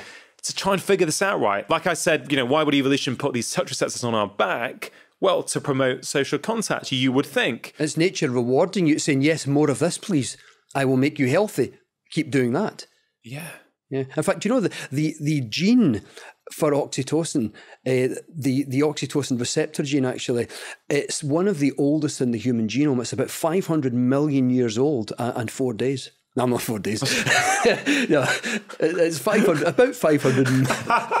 crap joke. Apologies to the listeners. I couldn't resist it. But, uh, but 500 million years old, what that say, that tells you is it's vital for the survival of all species. I mean, all, yeah. all warm blooded species have an oxytocin or a oxytocin similar system. In humans, it's integrated itself during those hundreds of millions of years into almost all important, meaningful systems in the body. Even the growth of heart muscle cells in children. If children are loved and cared for, then as well as that producing human growth hormone, it also produces oxytocin, which helps to facilitate the growth of heart muscle cells, neurons, kidney cells, liver cells, skin cells.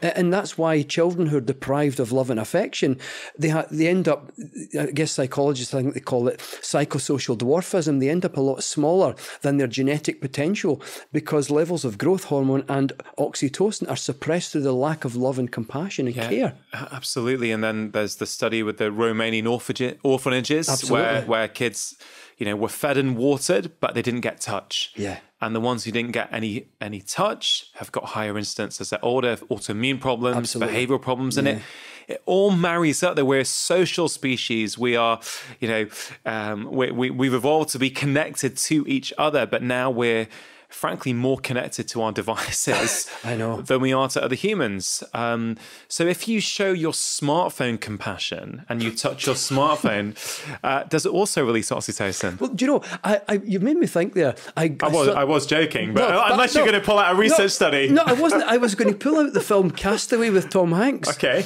And I, I you know, remember, it was it Wilson he called that, was it a coconut or a football? He called it Wilson? I have not seen it actually. All right. Well, years ago, Castaway. But, but Gareth is videoing this in the background, nodding his head yeah, furiously. So so, so, so, Tom Hanks, Castaway, was on a desert island for years, and he made a connection. I'm sure it was an old burst football or a coconut or something, but he made it into something that he bonded with and he spoke to it as if it was a person. He gave it a face and hair and he called it Wilson. And he cared so much for it that one day when it got swept to sea, he was devastated. It was grief, it was loss.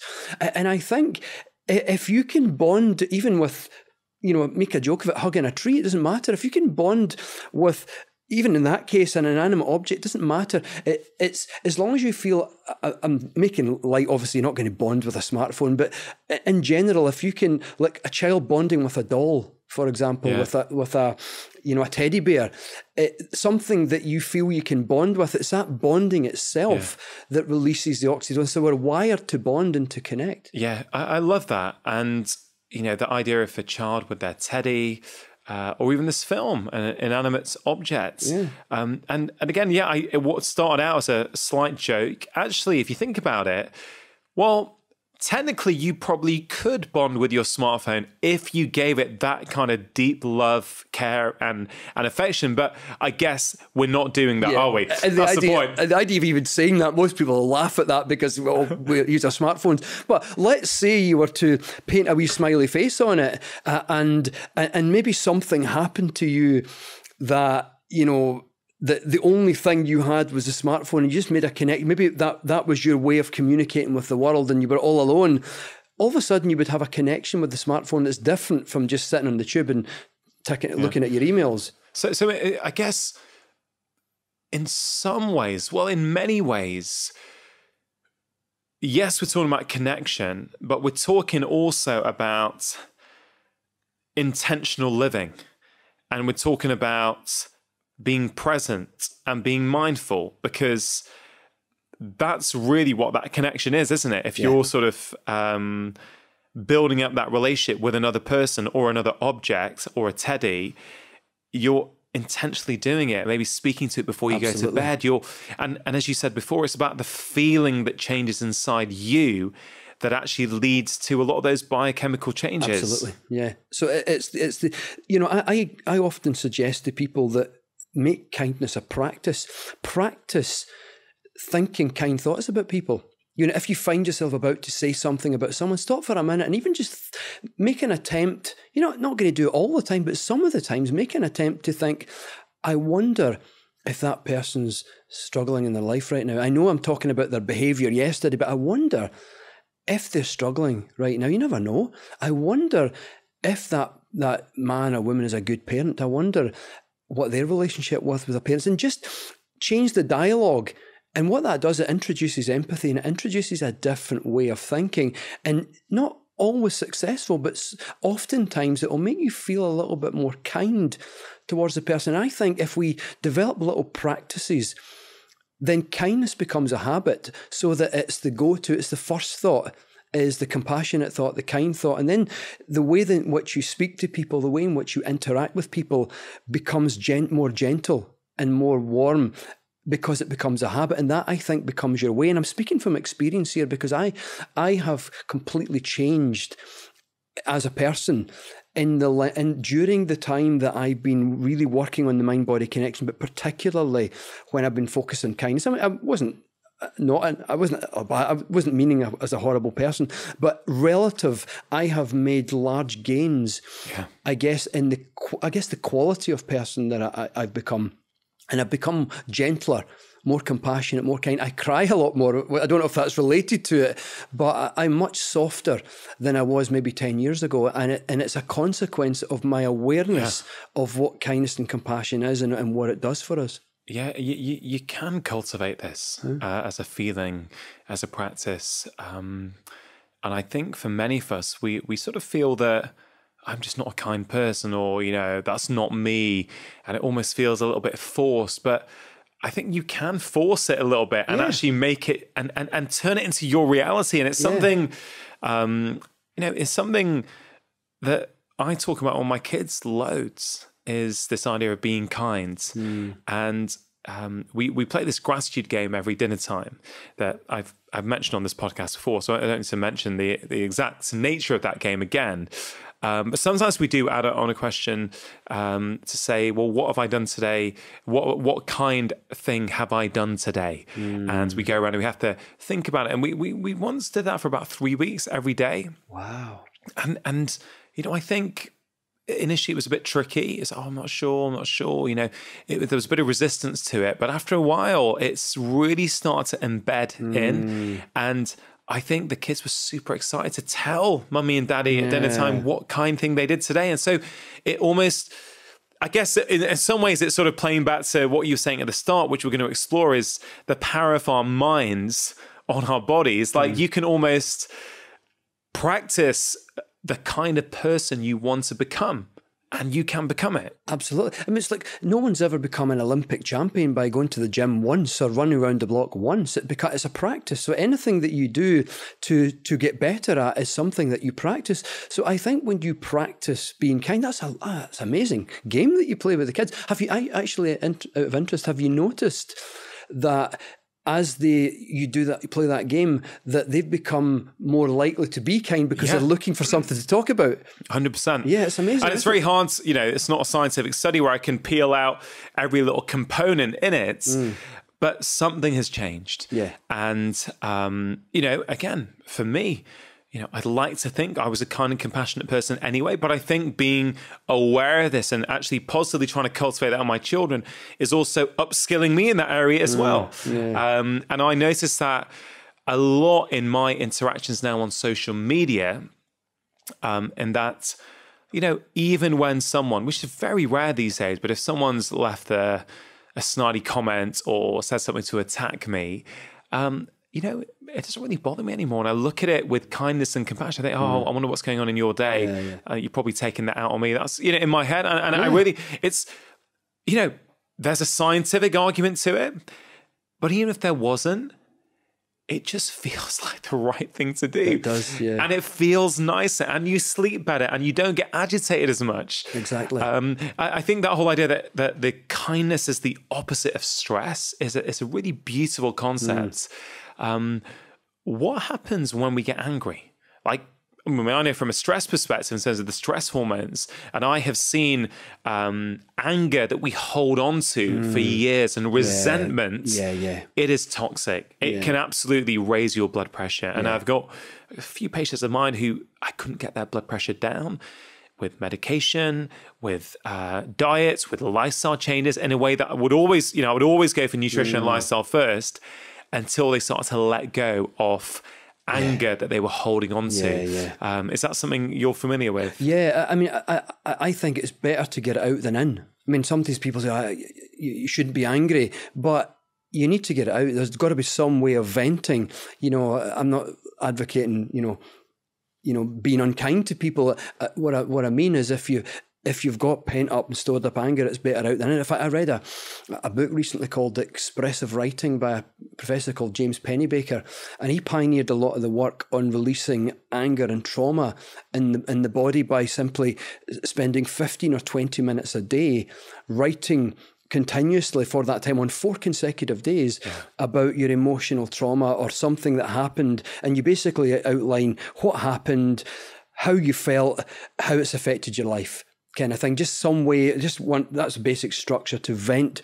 And sometimes you can swear and you could anger but but the idea, the act of expressing it gradually has an amazing effect. Because in one of the studies, they they found that their immune response to an endotoxin was significantly higher than those who hadn't done the expressive writing. So the immune system is becoming more robust okay. as a consequence of expressive writing. I mean, that's incredible. And uh, for people listening who are not familiar with what an endotoxin is, um, you know, one way of describing it is that inside your gut, um, we've got lots of different bacteria, you know, trillions of bacteria and, and other organisms. And, you know, we very simplistically um, consider them to be good and bad, which is far too simplistic.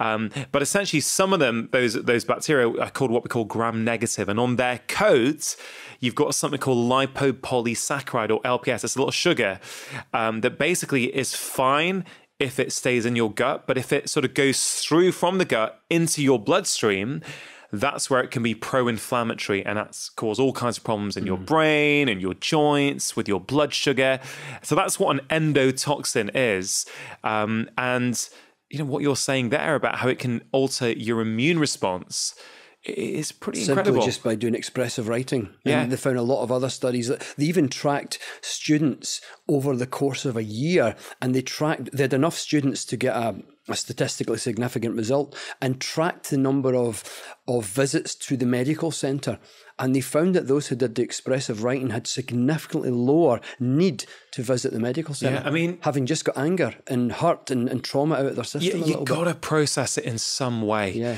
And actually, this whole British characteristic of stiff upper lip, you know, keep it inside, I think it is incredibly problematic. Yeah. Because that anger, that energy really has to go somewhere. And we're, we're seeing loads of good evidence now that it gets stored in your body and Absolutely. it can impact muscle tightness and all kinds of things that people are trying to stretch out.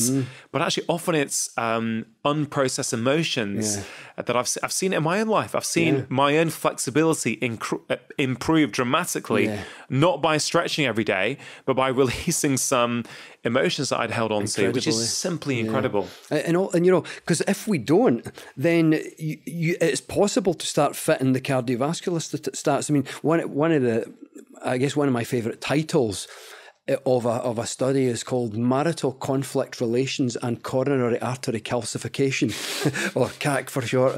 Uh, and I think you can work. Most people can work it with that. Means marital conflict relations and coronary artery calcification. Scientists took 150 married couples, put them in a room one couple at a time, asked them to discuss marital topics for for half an hour, and they they videotaped them, and they scored displays you know, language and displays of, of kindness and compassion and gentleness and patience. And they also scored anger and hostility and aggression and, and all these kind of things like that. So you've got a whole spectrum from the real far out hostile, aggressive and, and uh, frequent expressions of anger to the other side, which was really people you could say were softer people, uh, gentler, much more compassion and kindness and empathy and touch also. And one of the most amazing symmetries I've ever come across in science, when I say a symmetry, you know, it's symmetrical one thing on the other. The group who had high levels of hostility, aggression, and anger expressing, which you might say are hardened people, they had high levels of hardening of the arteries. And the other, the group who were softer people, they had normal, what you would call soft arteries. When you t- when you uh, controlled in the study for diet and exercise, smoking, drinking, etc., the only difference really was how you behaved in that half an hour, and that was Yeah. taken as a proxy for normal behaviour. That half an hour slice was taken as a proxy for this is probably how you are a large part of the time, and so. What you can see there is if we don't get out our system, it can end up having serious negative consequences. Sorry to interrupt. If you're enjoying this conversation, there's loads more like it on my channel. Please do press subscribe and hit that bell. Now, back to the conversation. How does physical activity play a role in the immune system? Yeah, well, um, uh, as I was actually doing the, the edits on the book, uh, you know, the lockdown had started, and I and I and I and I, I made sure that there was a, a section on respiratory tract infections. But but the immune system is like every system of the body is affected by physical activity, and for the most part, just like everything else, it's it's improved by physical activity. And, and we don't know exactly why, but I think it's because if you're if you're in camp and doing nothing, you don't and you don't leave, you don't encounter new pathogens, right? So I think there's a link between physical activity and immune function because as you being physical physically active was a, was the way in which we, we, we you know we left camp and, and and got exposed to pathogens. That might be a hypothesis. Uh, and it's also part of this sort of repair and maintenance mechanism. But, but there's plenty of data which shows that physical activity, moderate levels of physical activity, upregulate key components of the immune system. So for, for respiratory tract infections, for example, when you're physically active, you not only produce more uh, immune cells like there's natural killer cells, which I love the name, right? You know, Yeah. They- they're, they're naturally killing things in your body. They're, they're, your, they- kill, for example, cells that become infected with viruses, right? Cytotoxic T cells, again, an important part of your immune system, upregulated by physical activity. And not only there you produce more of them, but there's compelling evidence that you redeploy them to vulnerable parts of your body. So when you when you go for a run, not only do you produce more of these cells, but you send them to the, the linings of your respiratory tract, which is guess what, where we get we're vulnerable to COVID, right? To this to this SARS coronavirus. In addition, uh, physical activity upregulates the humoral immune system, the antibody production. As people get older, their antibody production uh, declines, but people who are more physically active have much healthier responses to vaccines and produce more antibodies. And again, for the same reason. And so, uh, so by being physically inactive, we increase our vulnerability to directly increase our vulnerability to respiratory tract infections. But physical activity also has in, indirect effects by making us more likely to be obese, to have metabolic syndrome, to have all the hypertensive, which are all the covariates that increase your risk to disease. So if we're going to fight this, this, this, this, this, this, this pandemic, one of the key ways to keep ourselves healthy is to stay physically active. Um, that said, there's interesting evidence, and there's a big debate about whether too much activity yeah. makes opens a window and makes you vulnerable. And there's, to be honest, there's not a lot of data because there's so few people who do too much that we just don't have a lot of data at that end of the curve. Um, and it's still very debated. So within humans, there's not a lot of really good data, but in animal models, there certainly is. So there's, I, I cite in the book a study that is really quite extraordinary study. They, they gave mice a really virulent form of influenza. And then for the few days where the, while the mice were coping with that influenza, you know, before the symptoms emerged, while their immune system was initially uh, dealing with it, some of the mice were, were sedentary. Some of the mice, they had them exercise like 20 minutes a day. And some of those poor little mice, they had them exercise like two hours a day. And the ones who exercised moderately had less than half the, the mortality rate of the sedentary mice. But the ones who exercised ridiculous amounts had much higher mortality rates than the sedentary yeah. mice. And to me, I think that that highlights, I think, what every physician knows, which is that, you know, some is good, but be careful. Don't overdo it because you're going to deplete your body of energy, and that then if there's less energy than your, which your immune system takes a lot of energy, you, you, you could potentially harm yourself. So, so, so really, as we deal with the physical problems, the me- physical health, the mental health of this this this pandemic, but also just our our, our, our immune health. You know, yeah. staying physically active is just absolutely crucial right now. Yeah, thank you. That was a, was a really nice summary of, of the research there and, and sort of how it helps so, why is it when the data and the science is really clear that, as you say, 150 minutes of physical activity each week will have multiple benefits?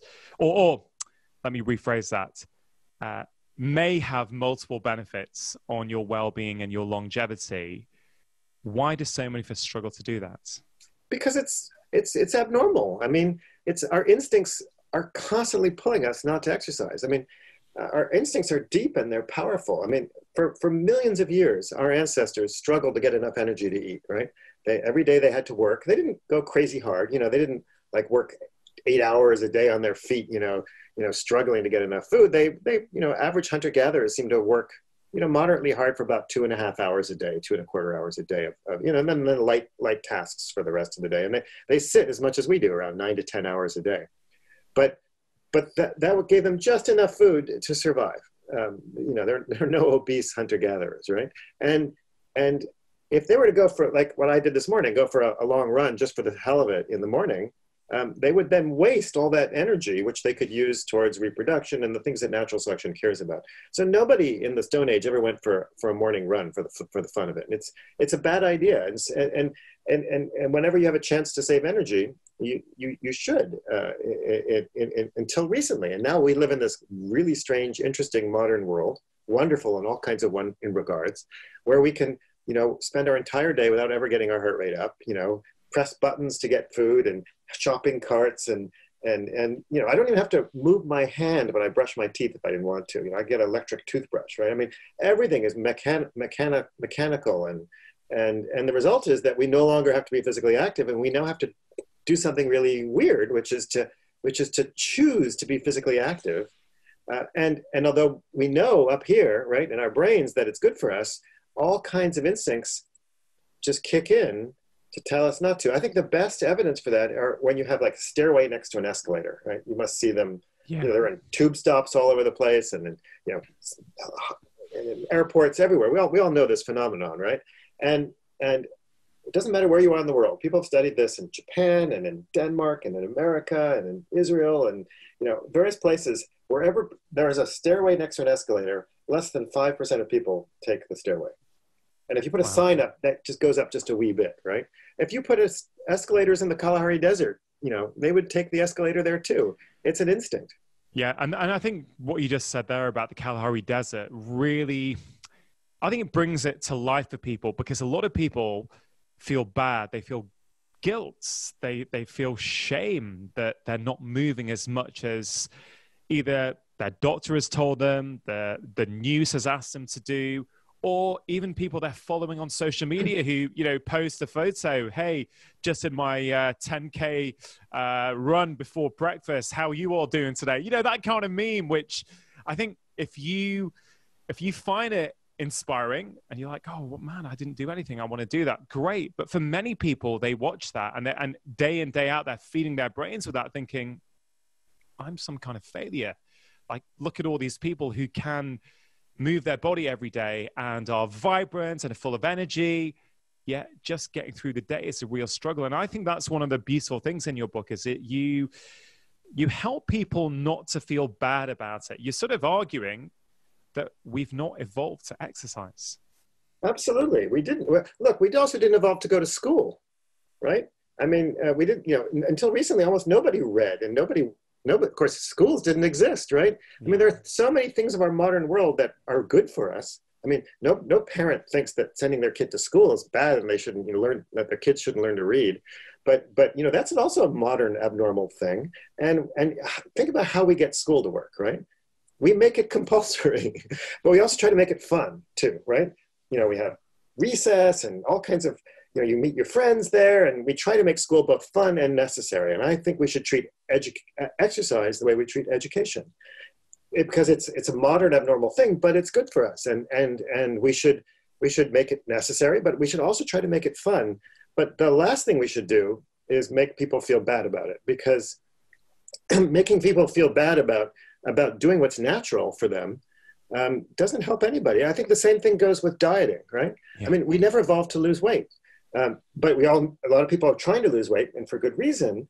But, but when they fail on their diet, it's not because of some moral failing. It's because there are hundreds of adaptations in their bodies which want to hold on to that fat um, and, you know, and, and, and, and elicit a, a kind of a fast, you know, an energetic crisis in their bodies to hold on to that energy and it's not their fault that they're having a hard yeah. time losing weight. It's it's the fault of their their biology and yet we, we then blame them and make them feel bad. And i think we need to understand that our bodies aren't we don't just get to decide what we do with our bodies. Our bodies are evolved and uh, over millions and millions of generations and we have and we need to be compassionate and understand that and work with our biology to find better solutions. I mean yeah. what we've done with exercise is we've medicalized it and i have nothing wrong with the medical profession. Obviously uh, I almost became a, a, physician myself, but most doctors' job is to treat people when they're sick, not to prevent them from getting sick. And that's part of the medical system as a whole. That's another issue. But, but the other thing we've done with, with, with, with exercise is we've commercialized it, we've industrialized it, we've commodified it. Uh, you know, we tell people to just do it, right? And, and again, there's nothing wrong with medicalizing exercise. There's nothing wrong with commercializing and industrializing exercise. But clearly, it's not enough because like in the United States, I don't know what the data are in England. I've been trying to find good data in England. There's not as much, but but in the United States, only 20% of Americans actually exercise in their leisure time. That's a really staggering number, right? Um, you know, there are people who are physically active, you know, um, but but but not many people actually get out and do it. And there's a reason for that. It's not because they're lazy or or bad or or or, or should feel guilty or ashamed. They're just being normal human beings you know, it, it, it really is wonderful to have someone with your pedigree. You're such an esteemed, highly respected researcher, professor. You're basically saying we need to be kind to ourselves. We need to be compassionate to ourselves. You're making the case with you know, physical activity and exercise that we need to be compassionate to ourselves.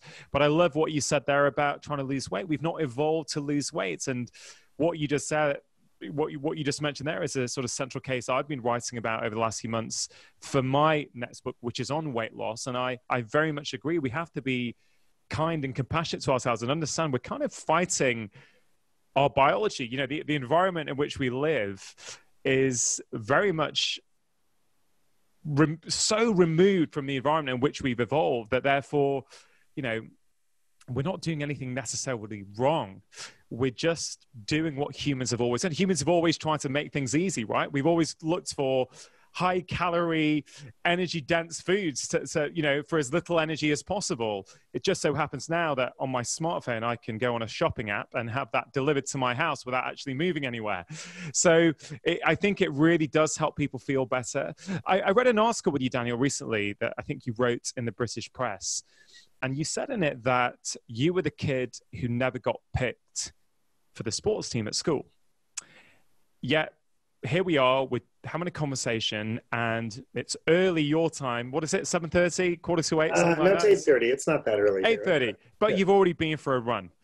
And that made me think about what you've just said about we've got to make it fun for people. Uh, we've got to, you know, you, we made school compulsory, but we also try and make it fun. And you're sort of making a similar case for exercise. So is part of the problem also like with you, and you've obviously overcome that and you are still uh, someone who moves regularly, but many people have that experience at school. They're not picked for the teams. They're made to feel uh, shame and bad about themselves that they can't be sporty like their friends who have been picked in the team. And that puts them off moving their bodies for life. Oh, absolutely. I mean, I, I, I, I was lucky because although I was terrible and I really was picked last for sports. I, I, I, for example, played on a on a soccer team. I get you call it football. Um, and uh, in, in my town that I grew up in, there was a, was a really good good good soccer town. And so there were kids on my team who were so much better than me. I just sat on the bench. You know, I almost never got to play because I wasn't very good. And um, you know, I, I, I felt very insecure about my body, and and uh, but I was lucky that I had parents who loved to hike and loved to. We went skiing in the winter, cross country skiing, and, my my mother, you know, jogged, and my father jogged too, and so they were physically active, but they didn't play sports. I don't think they ever watched any sports event ever. I don't think. Um, I played tennis a bit, but you know, that was um, you know, I had to walk to a tennis court. That was fine, but you know, they, they weren't interested in any of that. I don't think they ever came to any game I was ever in, partly because I sat on the bench, right? But um, um, uh, so I kind of grew up thinking it was of normal to be physically active, but not interested in sports. But so much of physical activity that kids encounter is sports. And sports, you know, there's a whole chapter in my book on sports sports can have exercise, but it doesn't always have exercise, and that exercise isn't always necessarily healthy. Look at American football. I mean, that's a really profoundly unhealthy sport, um, and we have more and more data uh, to show that, not just just in terms of concussions, but also in terms of heart disease and other kinds of problems that that arise from from you know bulking up, making these sort of sumo wrestler sized sort of linemen in the in this in the in the sport. But but we you know we we we we could do a better job of making it fun. I mean, some schools do that, um, but um, and making sure it's about fitness. I mean, my university, Harvard, has a you know an, a, a huge athletics program. We have 40 teams, um, one of the largest athletic programs in the United States, even though this is not a powerhouse school in terms of athletics. But um, um, but the, the the athletics department really mostly serves the athletes on campus, and their job isn't really that much to get the other 80% of students um, to be to be physically active. And and and surprise surprise the vast majority of harvard students about 75% don't meet the minimum level of physical activity um, uh, that you need in the united states.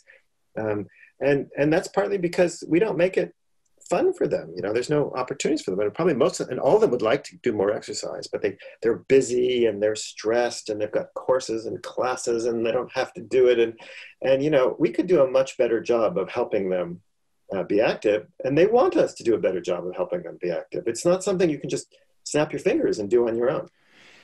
It's an interesting dilemma, isn't it? That we, we, we, we, we look up to these, incredible athletes uh, with superhuman performances. You know, the American footballers, let's say, in the States, or, uh, you know, Eliud Kipchoge, the runner who can, you know, run a marathon, frankly, in a time that just makes me shudder even thinking about the fact that he can do that in under two hours. But there's a difference, isn't there? It's what you're, it's the case you're sort of making that that's kind of elite performance it doesn't mean that's healthy. It doesn't mean that's what we should all be striving for. And, and I think why I find that interesting is because have you heard of park run? You familiar? Yes, of course. Run? Yeah, no, it's wonderful. Park run, fantastic. Yeah, but I mean, I'd love to talk about park run at, at some point because there are so many aspects there: community, um, you know, uh, the social aspect to moving together, whether it's run walk, whether it's walk, whether it's running. Um, but you also get timed at a park run. And I've often wondered is timing it a good idea or not? Because loads of people who suffer with mental health problems, park run is actually what really really helps them that that strong sense of community you're moving you even if you're a volunteer at that park run you still get a lot of benefits but i want to then when the timing comes in and i'm not against it i'm just sort of posing the question does that start to make us think about performance and taking us away from just doing it because it's a fun thing to do for some well, I, of us yeah I mean, I think, I think, I think we, you know, there's so many different motivations that people have, and I think we need to, we need to um, embrace them all, right? For some yeah. people, timing is great. It gives them a little impetus. It gets them, gets them, gives them, you know, it, you know, it helps them, you know, do a little better and you know challenge yeah. themselves. Other people find it defeating and and and and and and, and off-putting, and and so I think you know we should let a thousand kinds of physical activity bloom right and if and if and if you know part you know there's never going to be one type right yeah. for some people why not just dancing i mean I, I, have a section in the book on dancing you do is, and i've got that written down to talk to you about because yeah. i didn't know that at all so please yeah. do expand on that it was a brilliant section yeah, I mean, every culture in the world, I can't find an exam an exception, has has not only just dancing, but endurance dancing as part of its as part of its culture. You know, people people dance for hours um, in just about every culture. And I even even in Jane Austen, I found some wonderful quotes in, Jane Austen and you know Georgian England, where people you know dance the night away. Right?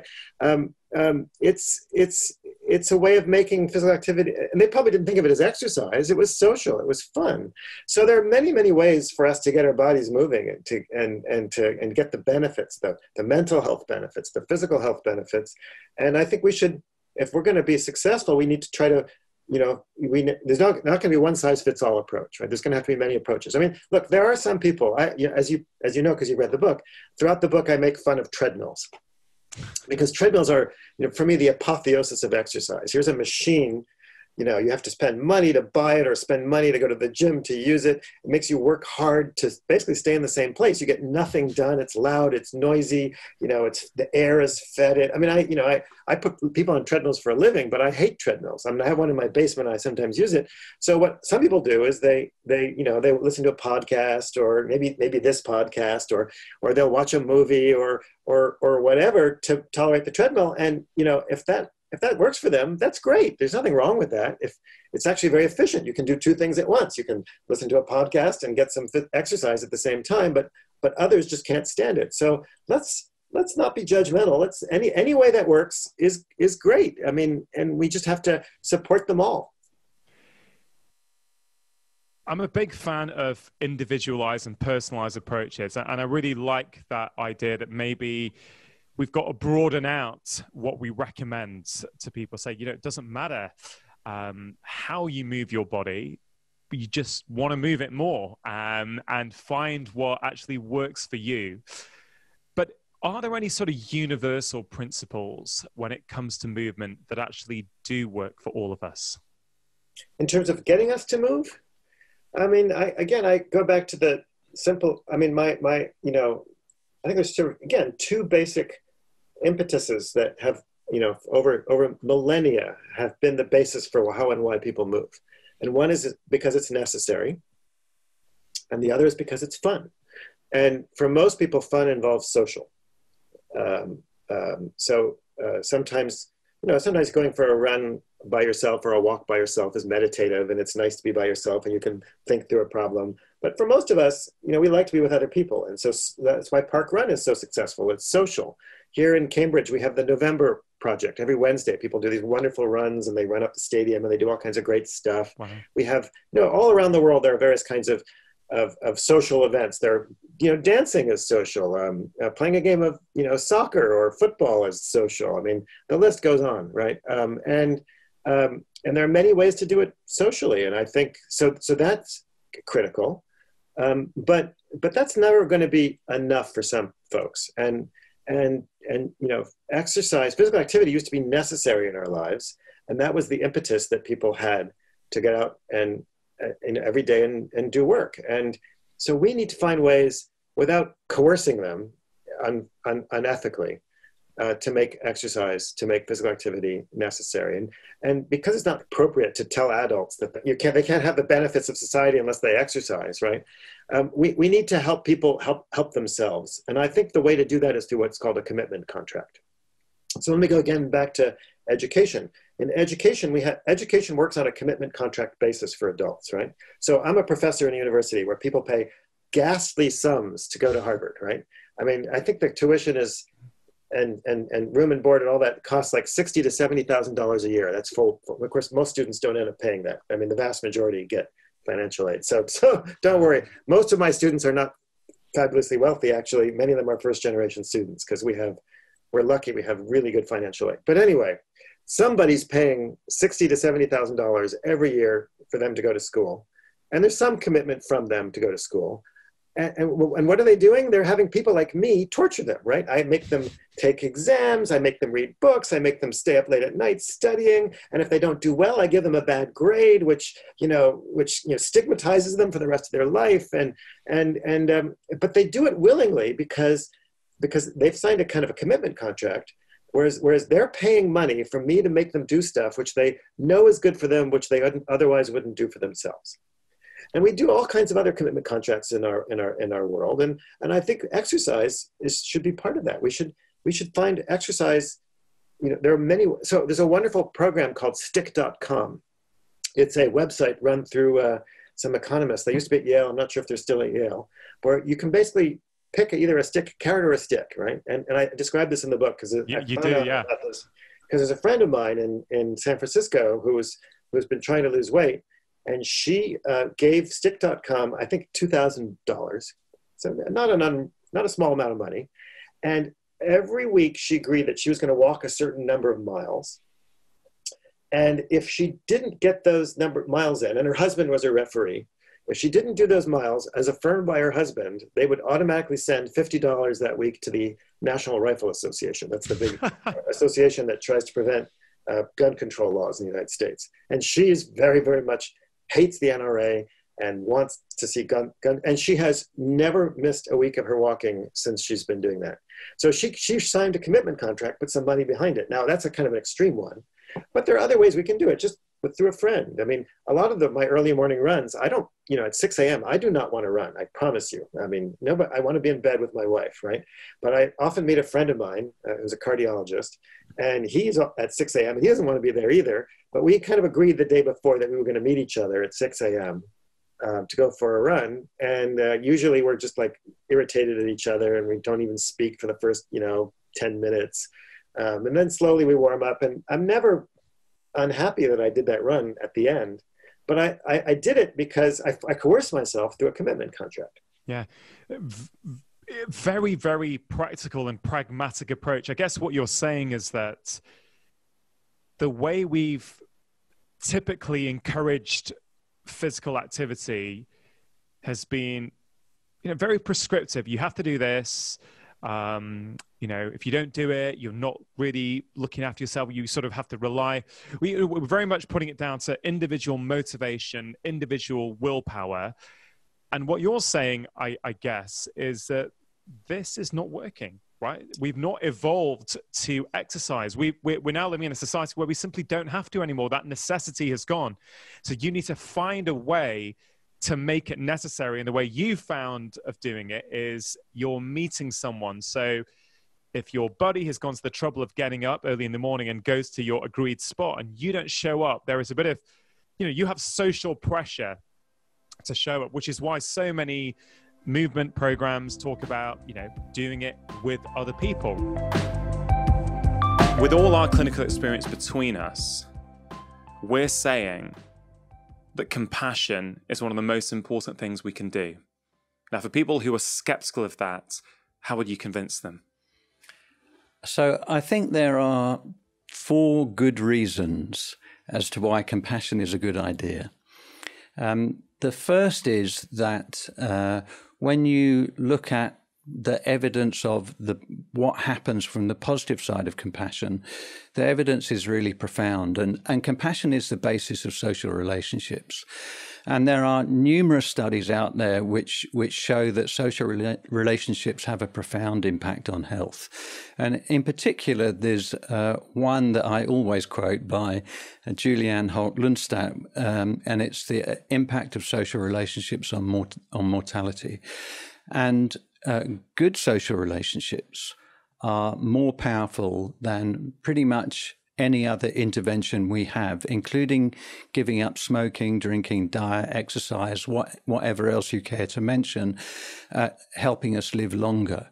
And that's more than just a nice thing. That's because it's it's embedded in our our biochemistry and our biology. The second the second reason is when you look at the impact of loneliness, and uh, loneliness um, has a uh, increases your chances of dying early by about 30%. And, um, and I know you, you uh, had a podcast with Vivek Murthy, and he wrote a book about all of that with yeah. loads of evidence in it.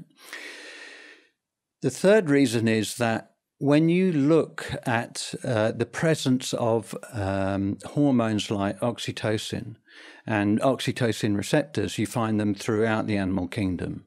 Uh, and human beings are the most social of animals. Now, the presence of oxytocin and oxytocin receptors, which is the hormone that is associated with compassion, the so called socializing hormone, its mere presence means that it has an evolutionary advantage. It couldn't possibly be there without it helping us. And, uh, and what that means is that actually we survived through being compassionate and being kind. That survival of the fittest, interestingly, was a term uh, that was invented by Herbert Spencer, not Charles Darwin. And um, he started uh, social Darwinism with. Uh, which has got loads of implications which are not so great.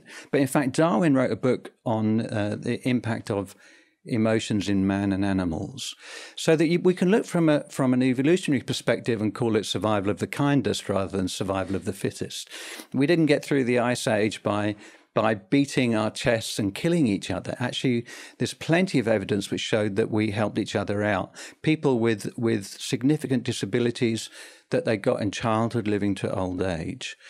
And then finally, uh, I think a, a, piece of evidence that helps because it's measurable, we can look at the outcomes of what happened in the compassionate community program that happened in Frome, where we saw emergency admissions drop by 30% at a time where they were increasing everywhere else. And there are no interventions ever which have reduced population emergency admissions. I've got one other thing to add that I forgot, and that's the Harvard and Glueck studies of adult development, um, which in which uh, studies began in 1938 in Harvard, looking at um, what happened to people through measuring year on year and re-interviewing and looking at the outcomes. And and the fourth leader of the study um, because it's gone on for so many years says it's it's if you want to lead a happy healthy long life it's all about relationships. And the basis of relationships is compassion and, and so if you're thinking about why is compassion more than a good idea, uh, it's because it has a profound impact on everything we do and everything we touch. And even from a personal perspective, if you want to be healthy and happy, be compassionate. Yeah. You can actually have, well, can you have a selfish reason for being compassionate? Like if we, if we, if we look at this individual, individualistic culture, that that many of us are falling prey to these days. This idea that oh, if I'm kind to someone else, it's good for me. Well, is that a good enough reason to be kind and compassionate, or does your kindness and compassion have to be with no strings attached? So it's best if there are no strings attached, but it has to start somewhere, and um, and I think that it it makes sense to be compassionate but sometimes making sense isn't enough. You know that we we tend to think that that we make decisions based on reasoning, but it's much more than reasoning. Our decisions are based on on emotion and inspiration as well. So that if you if you think about the three things together the the reasoning the emotion uh, the emotion being this feels right and the inspiration being I'm so inspired by what you do, I'm going to do that as well. that they all come together at the same time. And and so not only can you reason that compassion is a good idea, you can know it and feel inspired by it as well. And and hopefully, you know, not only are we social animals, we have the capacity to choose. Hopefully, we provide a really good case for being more compassionate. Yeah. You know, she was saying that, it, it reminded me of when I used to work in Oldham, right in the centre of Oldham, pretty, you know, what would be called from the data a deprived community, low socioeconomic status. And, you know, I used to get up back then, I think this is pre kids or maybe when my son was very young. I'd, I'd, want to get to work by about 7.15 or so just because to get through the blood results before i started seeing patients at 8 o'clock. And i used to also love missing traffic and i'd stop off on the way uh, just in my, my town at you know a local cafe that was open. I'd, I'd stop off i'd get myself a coffee and initially I'd be getting it, I think, as a takeaway. But you know what? You start to talk to people. So I was there 6.30, along with my fellow caffeine addicts. And, you know, we'd sit there and chat. And you end up, you know, I didn't know them uh, apart from through the coffee shop. I didn't have their phone number, their text number, but we built up a bit of a rapport a bit of a, you know, a 6:30 a.m. club, like a community where you'd you'd actually really look forward to seeing them. Go, oh, you know, how was that yesterday? And I I'm sure that changed how my day went down, even though if I may not get home till 8 p.m. that night, that little dose of compassion and connection, I think would get me through some very stressful days as a GP.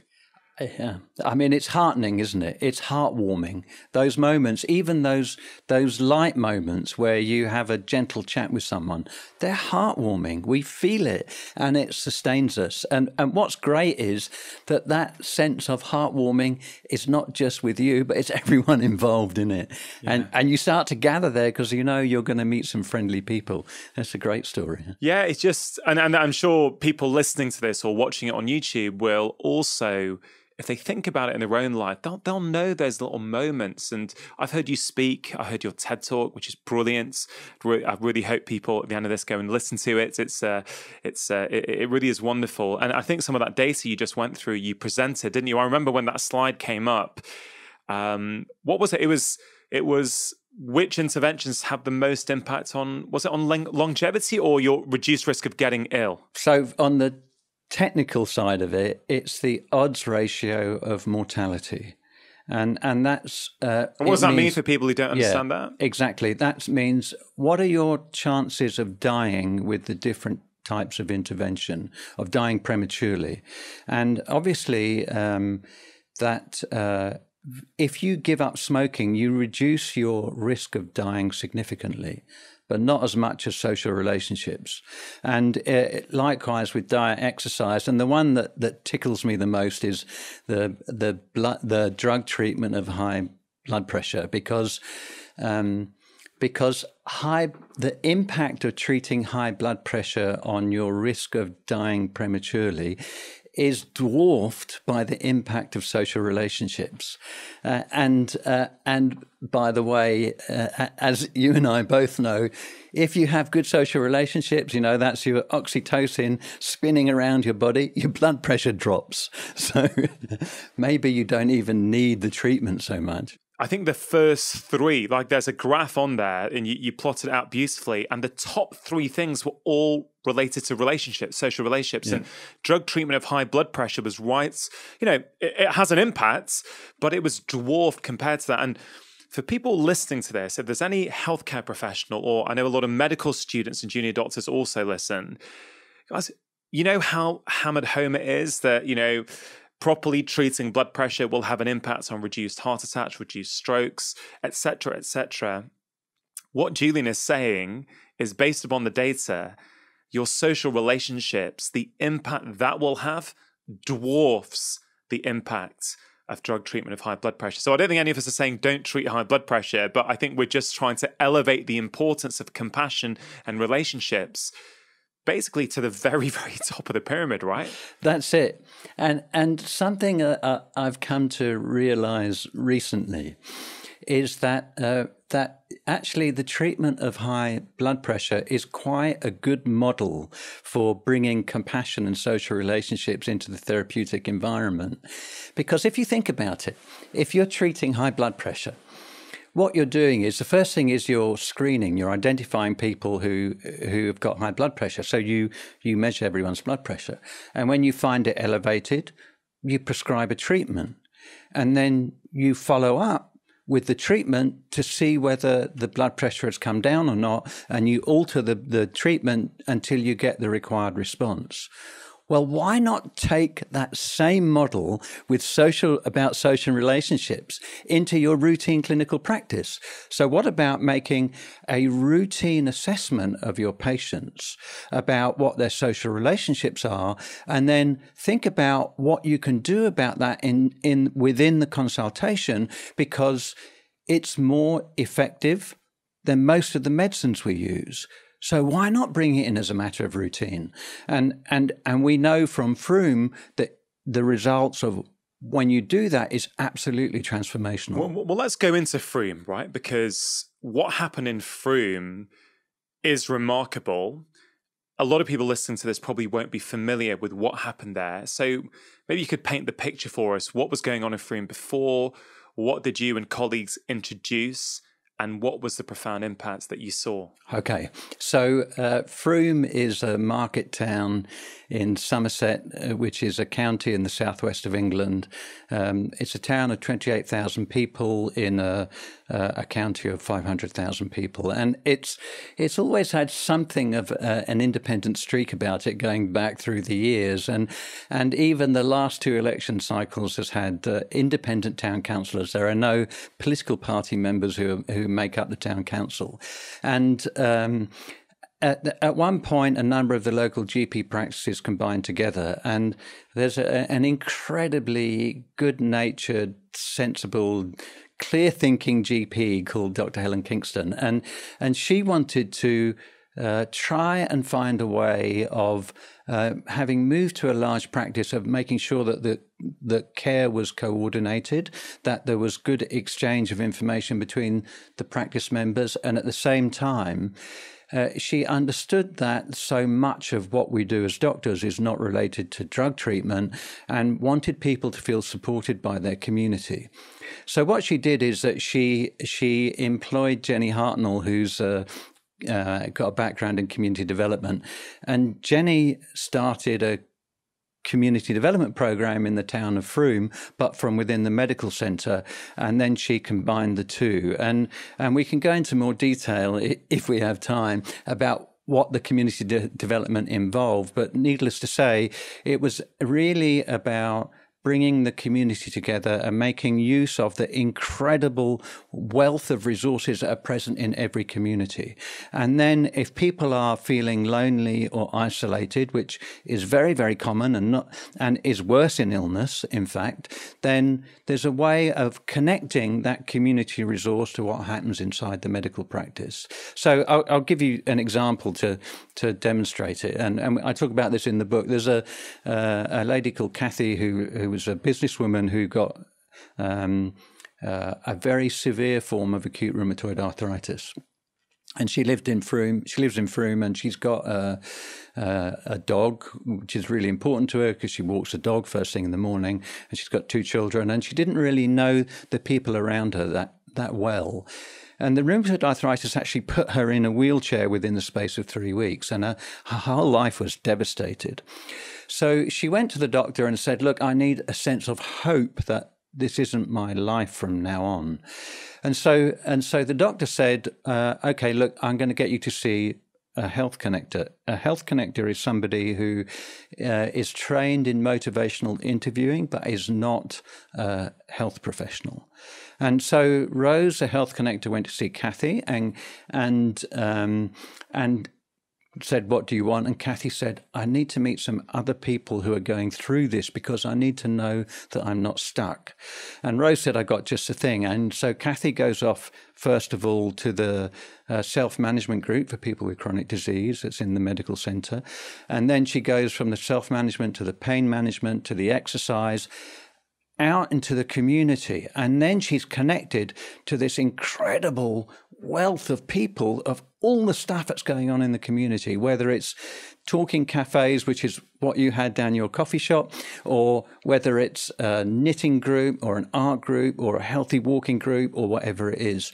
And, and Kathy makes this journey from, um, from being somebody who was relatively isolated and focused to being somebody who is deeply engaged in the community. And she describes the outcome of it about how she has got friends for life. And she knows that they are there for her and she is there for them. And, and her life is transformed. Not only does she regain her health, she regains her happiness. And that the, the combination of the, the medical treatment of her disease with this wealth of support transforms her life. When you say she regains her health, right? So she gets tapped into that when she's been diagnosed, and I think you said she's in a wheelchair. So when you say she's regained her health, what what happens? I mean, what what what does she get to? What's her pain like? What's her mobility like? So she, she her pain and her mobility improve, and obviously some of that is related to um, treatment of her disease. But her well being improves, her sense of social connectedness, her sense of, excuse me, who's around her, who her friends are, her joy in life, her reason for living. Everything is transformed. And, and so it's a, a personal journey of, of increasing health and well-being and transformation. What's interesting, Julian, for me, as you described her improvements there, is that we started off talking about pain and mobility, and of course, the medical treatment may have helped that, but I, I also have seen enough to know that actually it could also be a lot of the other stuff as well. The feeling of connectedness can can absolutely reduce pain in my experience. But you said at the end her, you know, her joy in living, her love for life, that all that sort of stuff, the kind of softer stuff that often in in medicine we don't measure. But in many ways, that's the most important part of being alive. The most important part of being a human being on planet Earth is how much fulfillment, how much joy do we get day to day? Whereas I really feel that medicine has, possibly without realizing it, become very reductive and we measure blood tests and we do pain scores. Now, of course, reducing pain is really important and can improve people's quality in life. But I think we've overvalued a lot of those, um, I guess, more objective parameters at the expense of potentially some of these subjective ones? Uh, I mean, I, you know, obviously, I agree with you, and and my clinical background is that of a palliative care physician. So, um, pain is something I'm. So, for those who don't know what palliative care is, I looked after people with terminal illnesses, mostly cancer, but it applies to any kind of illness, and um, and of course, you know, pain is a significant significant part of it. But when when you're treating people in pain day to day, their mental state is is has a profound impact on their sensation of pain. And if you just use medication to try and control their pain, you're you're never going to get completely on top of it. But if you start to deal with what matters most in life, and and what matters most is so often the people we know and love in the places we know and love. You know, that if you start to work with all of that, then a similar kind of transformation that happened to Kathy can take place. And of course, if people are feeling loved and secure, then their anxiety goes down, their pain levels go down. And actually, you know, then you start producing all the things that we naturally produce as human beings, including oxytocin and our, our uh, endorphins, which are the, the morphine type compounds that we naturally produce inside us. Yeah. I mean, I can't get that out of my head that your biochemistry, your biology, your physiology changes when you have close social connections, when you're compassionate to someone else or they're compassionate to you. It matters so much. And I think, you know, as I said to you in the kitchen just beforehand, you know, I, I, I, sort of get sent so many books these days, and, and often I don't even get to look at them, what's in them. But there's something about yours that just lit lit me up inside. You know, the Compassion Project, a case for hope and human kindness from the town that beat loneliness. I was just right. I'm straight in. You know, I I just couldn't stop reading it. It's it's it's it really is where personal, professional, all of my interests basically collide on this topic. It's something I think a lot about, particularly as my public profile has grown and I communicate a lot on social media with people. And I, I want to talk to you about social media uh, because I understand that apart from a, a, minimally used Twitter account, I'm not entirely sure you do much, which is possibly why you look so happy, well, fit, uh, despite having worked for over 40 years as a doctor. Um, but I, I very much always lead with compassion. And that means you won't get as much growth as other people who don't. But because you won't, because it, you can, if you go divisive and you go with sort of toxic kind of messaging, you get all the engagement, you get all the sort of, you attract that kind of, um, you you attract those kind of responses as well. You really trigger people, and I want to be part of the solution. I want to I want to try and you know, as as Gandhi says, be the change that you want to see in the world, right? So there's a lot out there that we feel we can't change, we can't control. But I guess we can all control whether we choose compassion or not, can't we? I, I, I, exactly, and and I think you're doing a great job, and and I think when we we look around us that we can put our compassionate spectacles on and and see whether there's the presence or absence of compassion, and and so often when you look at at what happens in social media or what happens in the media in general, or if we're hearing about politics or business or environment, and, and we've got our compassion glasses on, we see that it's absent. And, and it's heartbreaking to see. And so that what I hope is that, that actually we provide a, a really good argument to say, this is down to us as individuals, that, that within our life, we can choose to be more compassionate in in any given situ- situation we're in, whether we're at home dealing with the kids or down the shops or in our workplace. Actually, at any moment, we have the choice to be compassionate or not. And if we choose compassion, not only is it good for us, it's good for everyone around us. Uh, and so, in a way, the heart of all of this is down to an individual level. It's about each person and uh, every person choosing to be just a little bit more compassionate because I guarantee that once you start, you'll never stop. Why does this matter so much to you? Is this something that you felt as a kid, as a teenager, or was it your experience as a palliative care doctor, you know, seeing people towards the end of their life? You know, what was it, or was it a combination? So it's interesting that you say that, and it, it's something that, that I've thought about a lot. And I can remember it being important as a child, you, like wanting the world to be a better place. And and and actually, most kids are like that.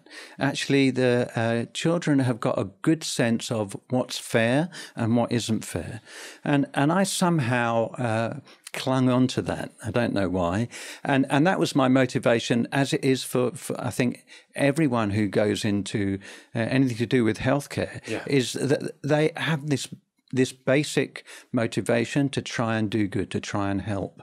Um, and what I found was that that it was central to what I felt was most helpful. And uh, it, so when I went into medical school, it was it was back in the day, you know, and. Um, and um, it was the time of uh, uh, Margaret Thatcher, funnily enough, and uh, that point where the health service re- really starts to get constricted and disinvestment, and and health service at that time was extremely hierarchical and uh, you know the doctors were these kind of uh, magical figures, and and it it felt very uncomfortable to me. And yeah. uh, I took a diversion uh, away from medicine for a few years to study acupuncture uh, and osteopathy, particularly because um, they seem to embody somehow uh, a greater sense of this compassion and working with people and all of the complexity of people.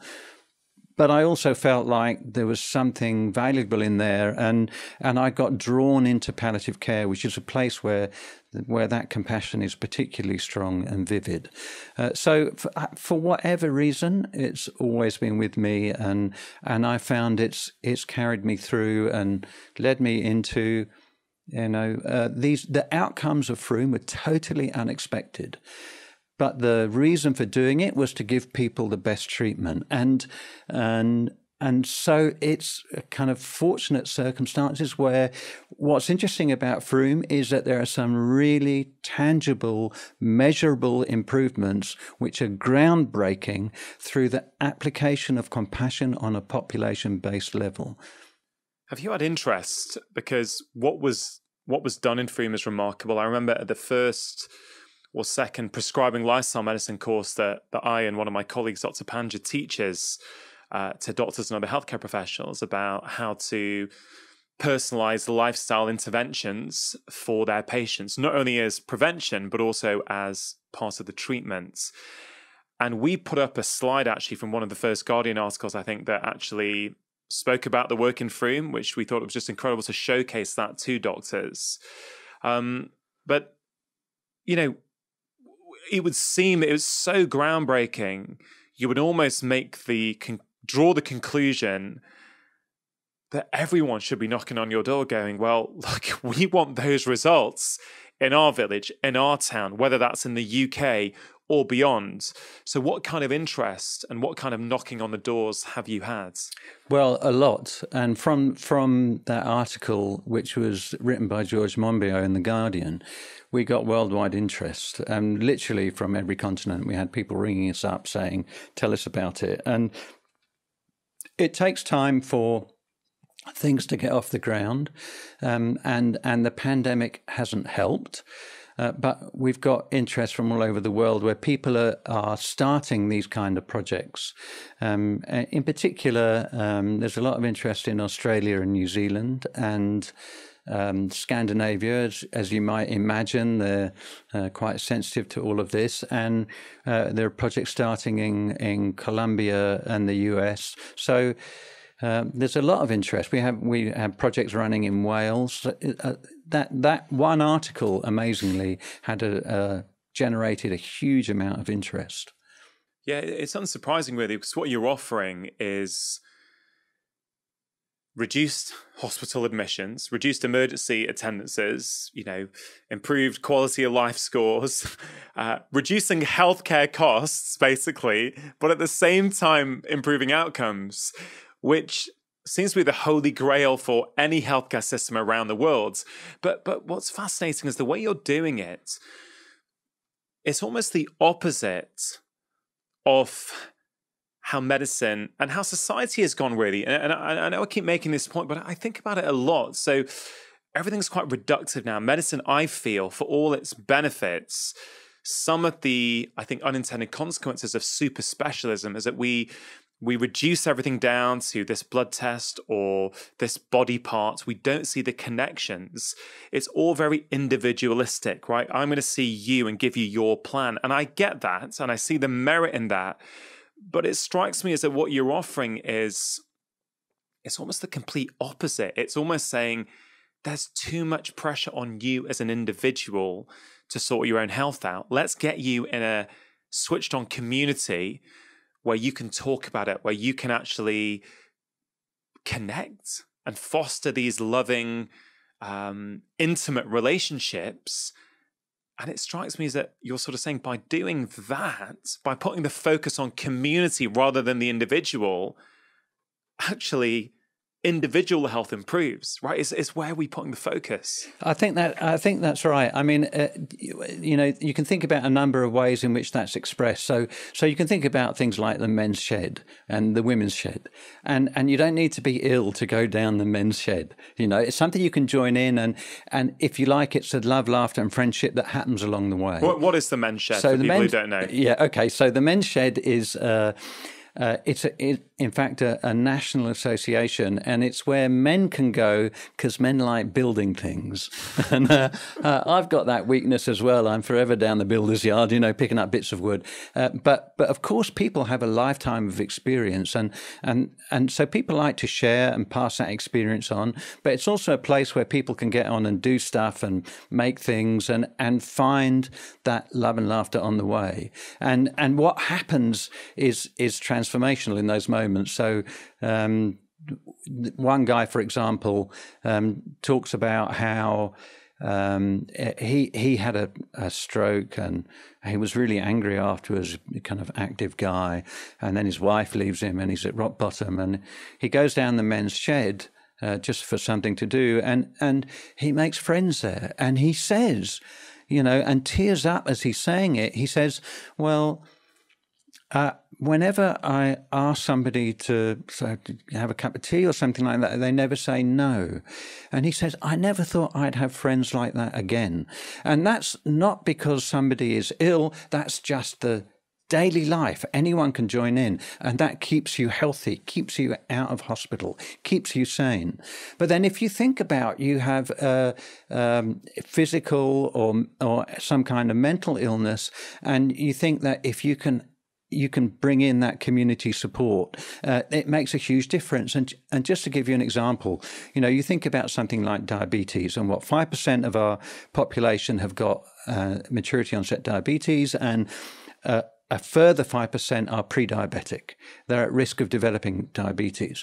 Well, so that's so much to do with lifestyle. And it's all very well for a doctor to say, uh, actually, you've got to cut down your carbohydrates, stop eating sugar. And, uh, but what on earth does that mean to somebody who might not know how to cook properly, might not have a shop nearby, may feel overwhelmed by the price of food, and who may feel lonely and isolated because they've got this disease and what do they do now? Well, if you start thinking about how you can add in community resource to that, then you can start thinking about, well, what about other people who are in the same situation? And and what about if, if they figured out what to cook, how to cook? If you're if you're uh, a, a, widower and you never did the cooking, what on earth do you do? And where do you buy the food from? And how do you buy fresh food that's cheap? And if you do it together, is it easier? And what about if you start cooking for each other? Yeah. And and then you start building these relationships. And not only do you lead a healthier lifestyle, you get all the benefits that we've been talking about that happen with your biochemistry and your physiology and everything from from the love and laughter that you develop with the people around you. If you enjoyed that conversation, I think you are going to love the one that I had with Professor Tim Spector, all about foods. It's right there. So give it a click and let me know what you think. If you snack a couple of hours before a meal, your metabolic response to that meal is poorer than if you didn't snack. Okay, just say that again because I think that's really important.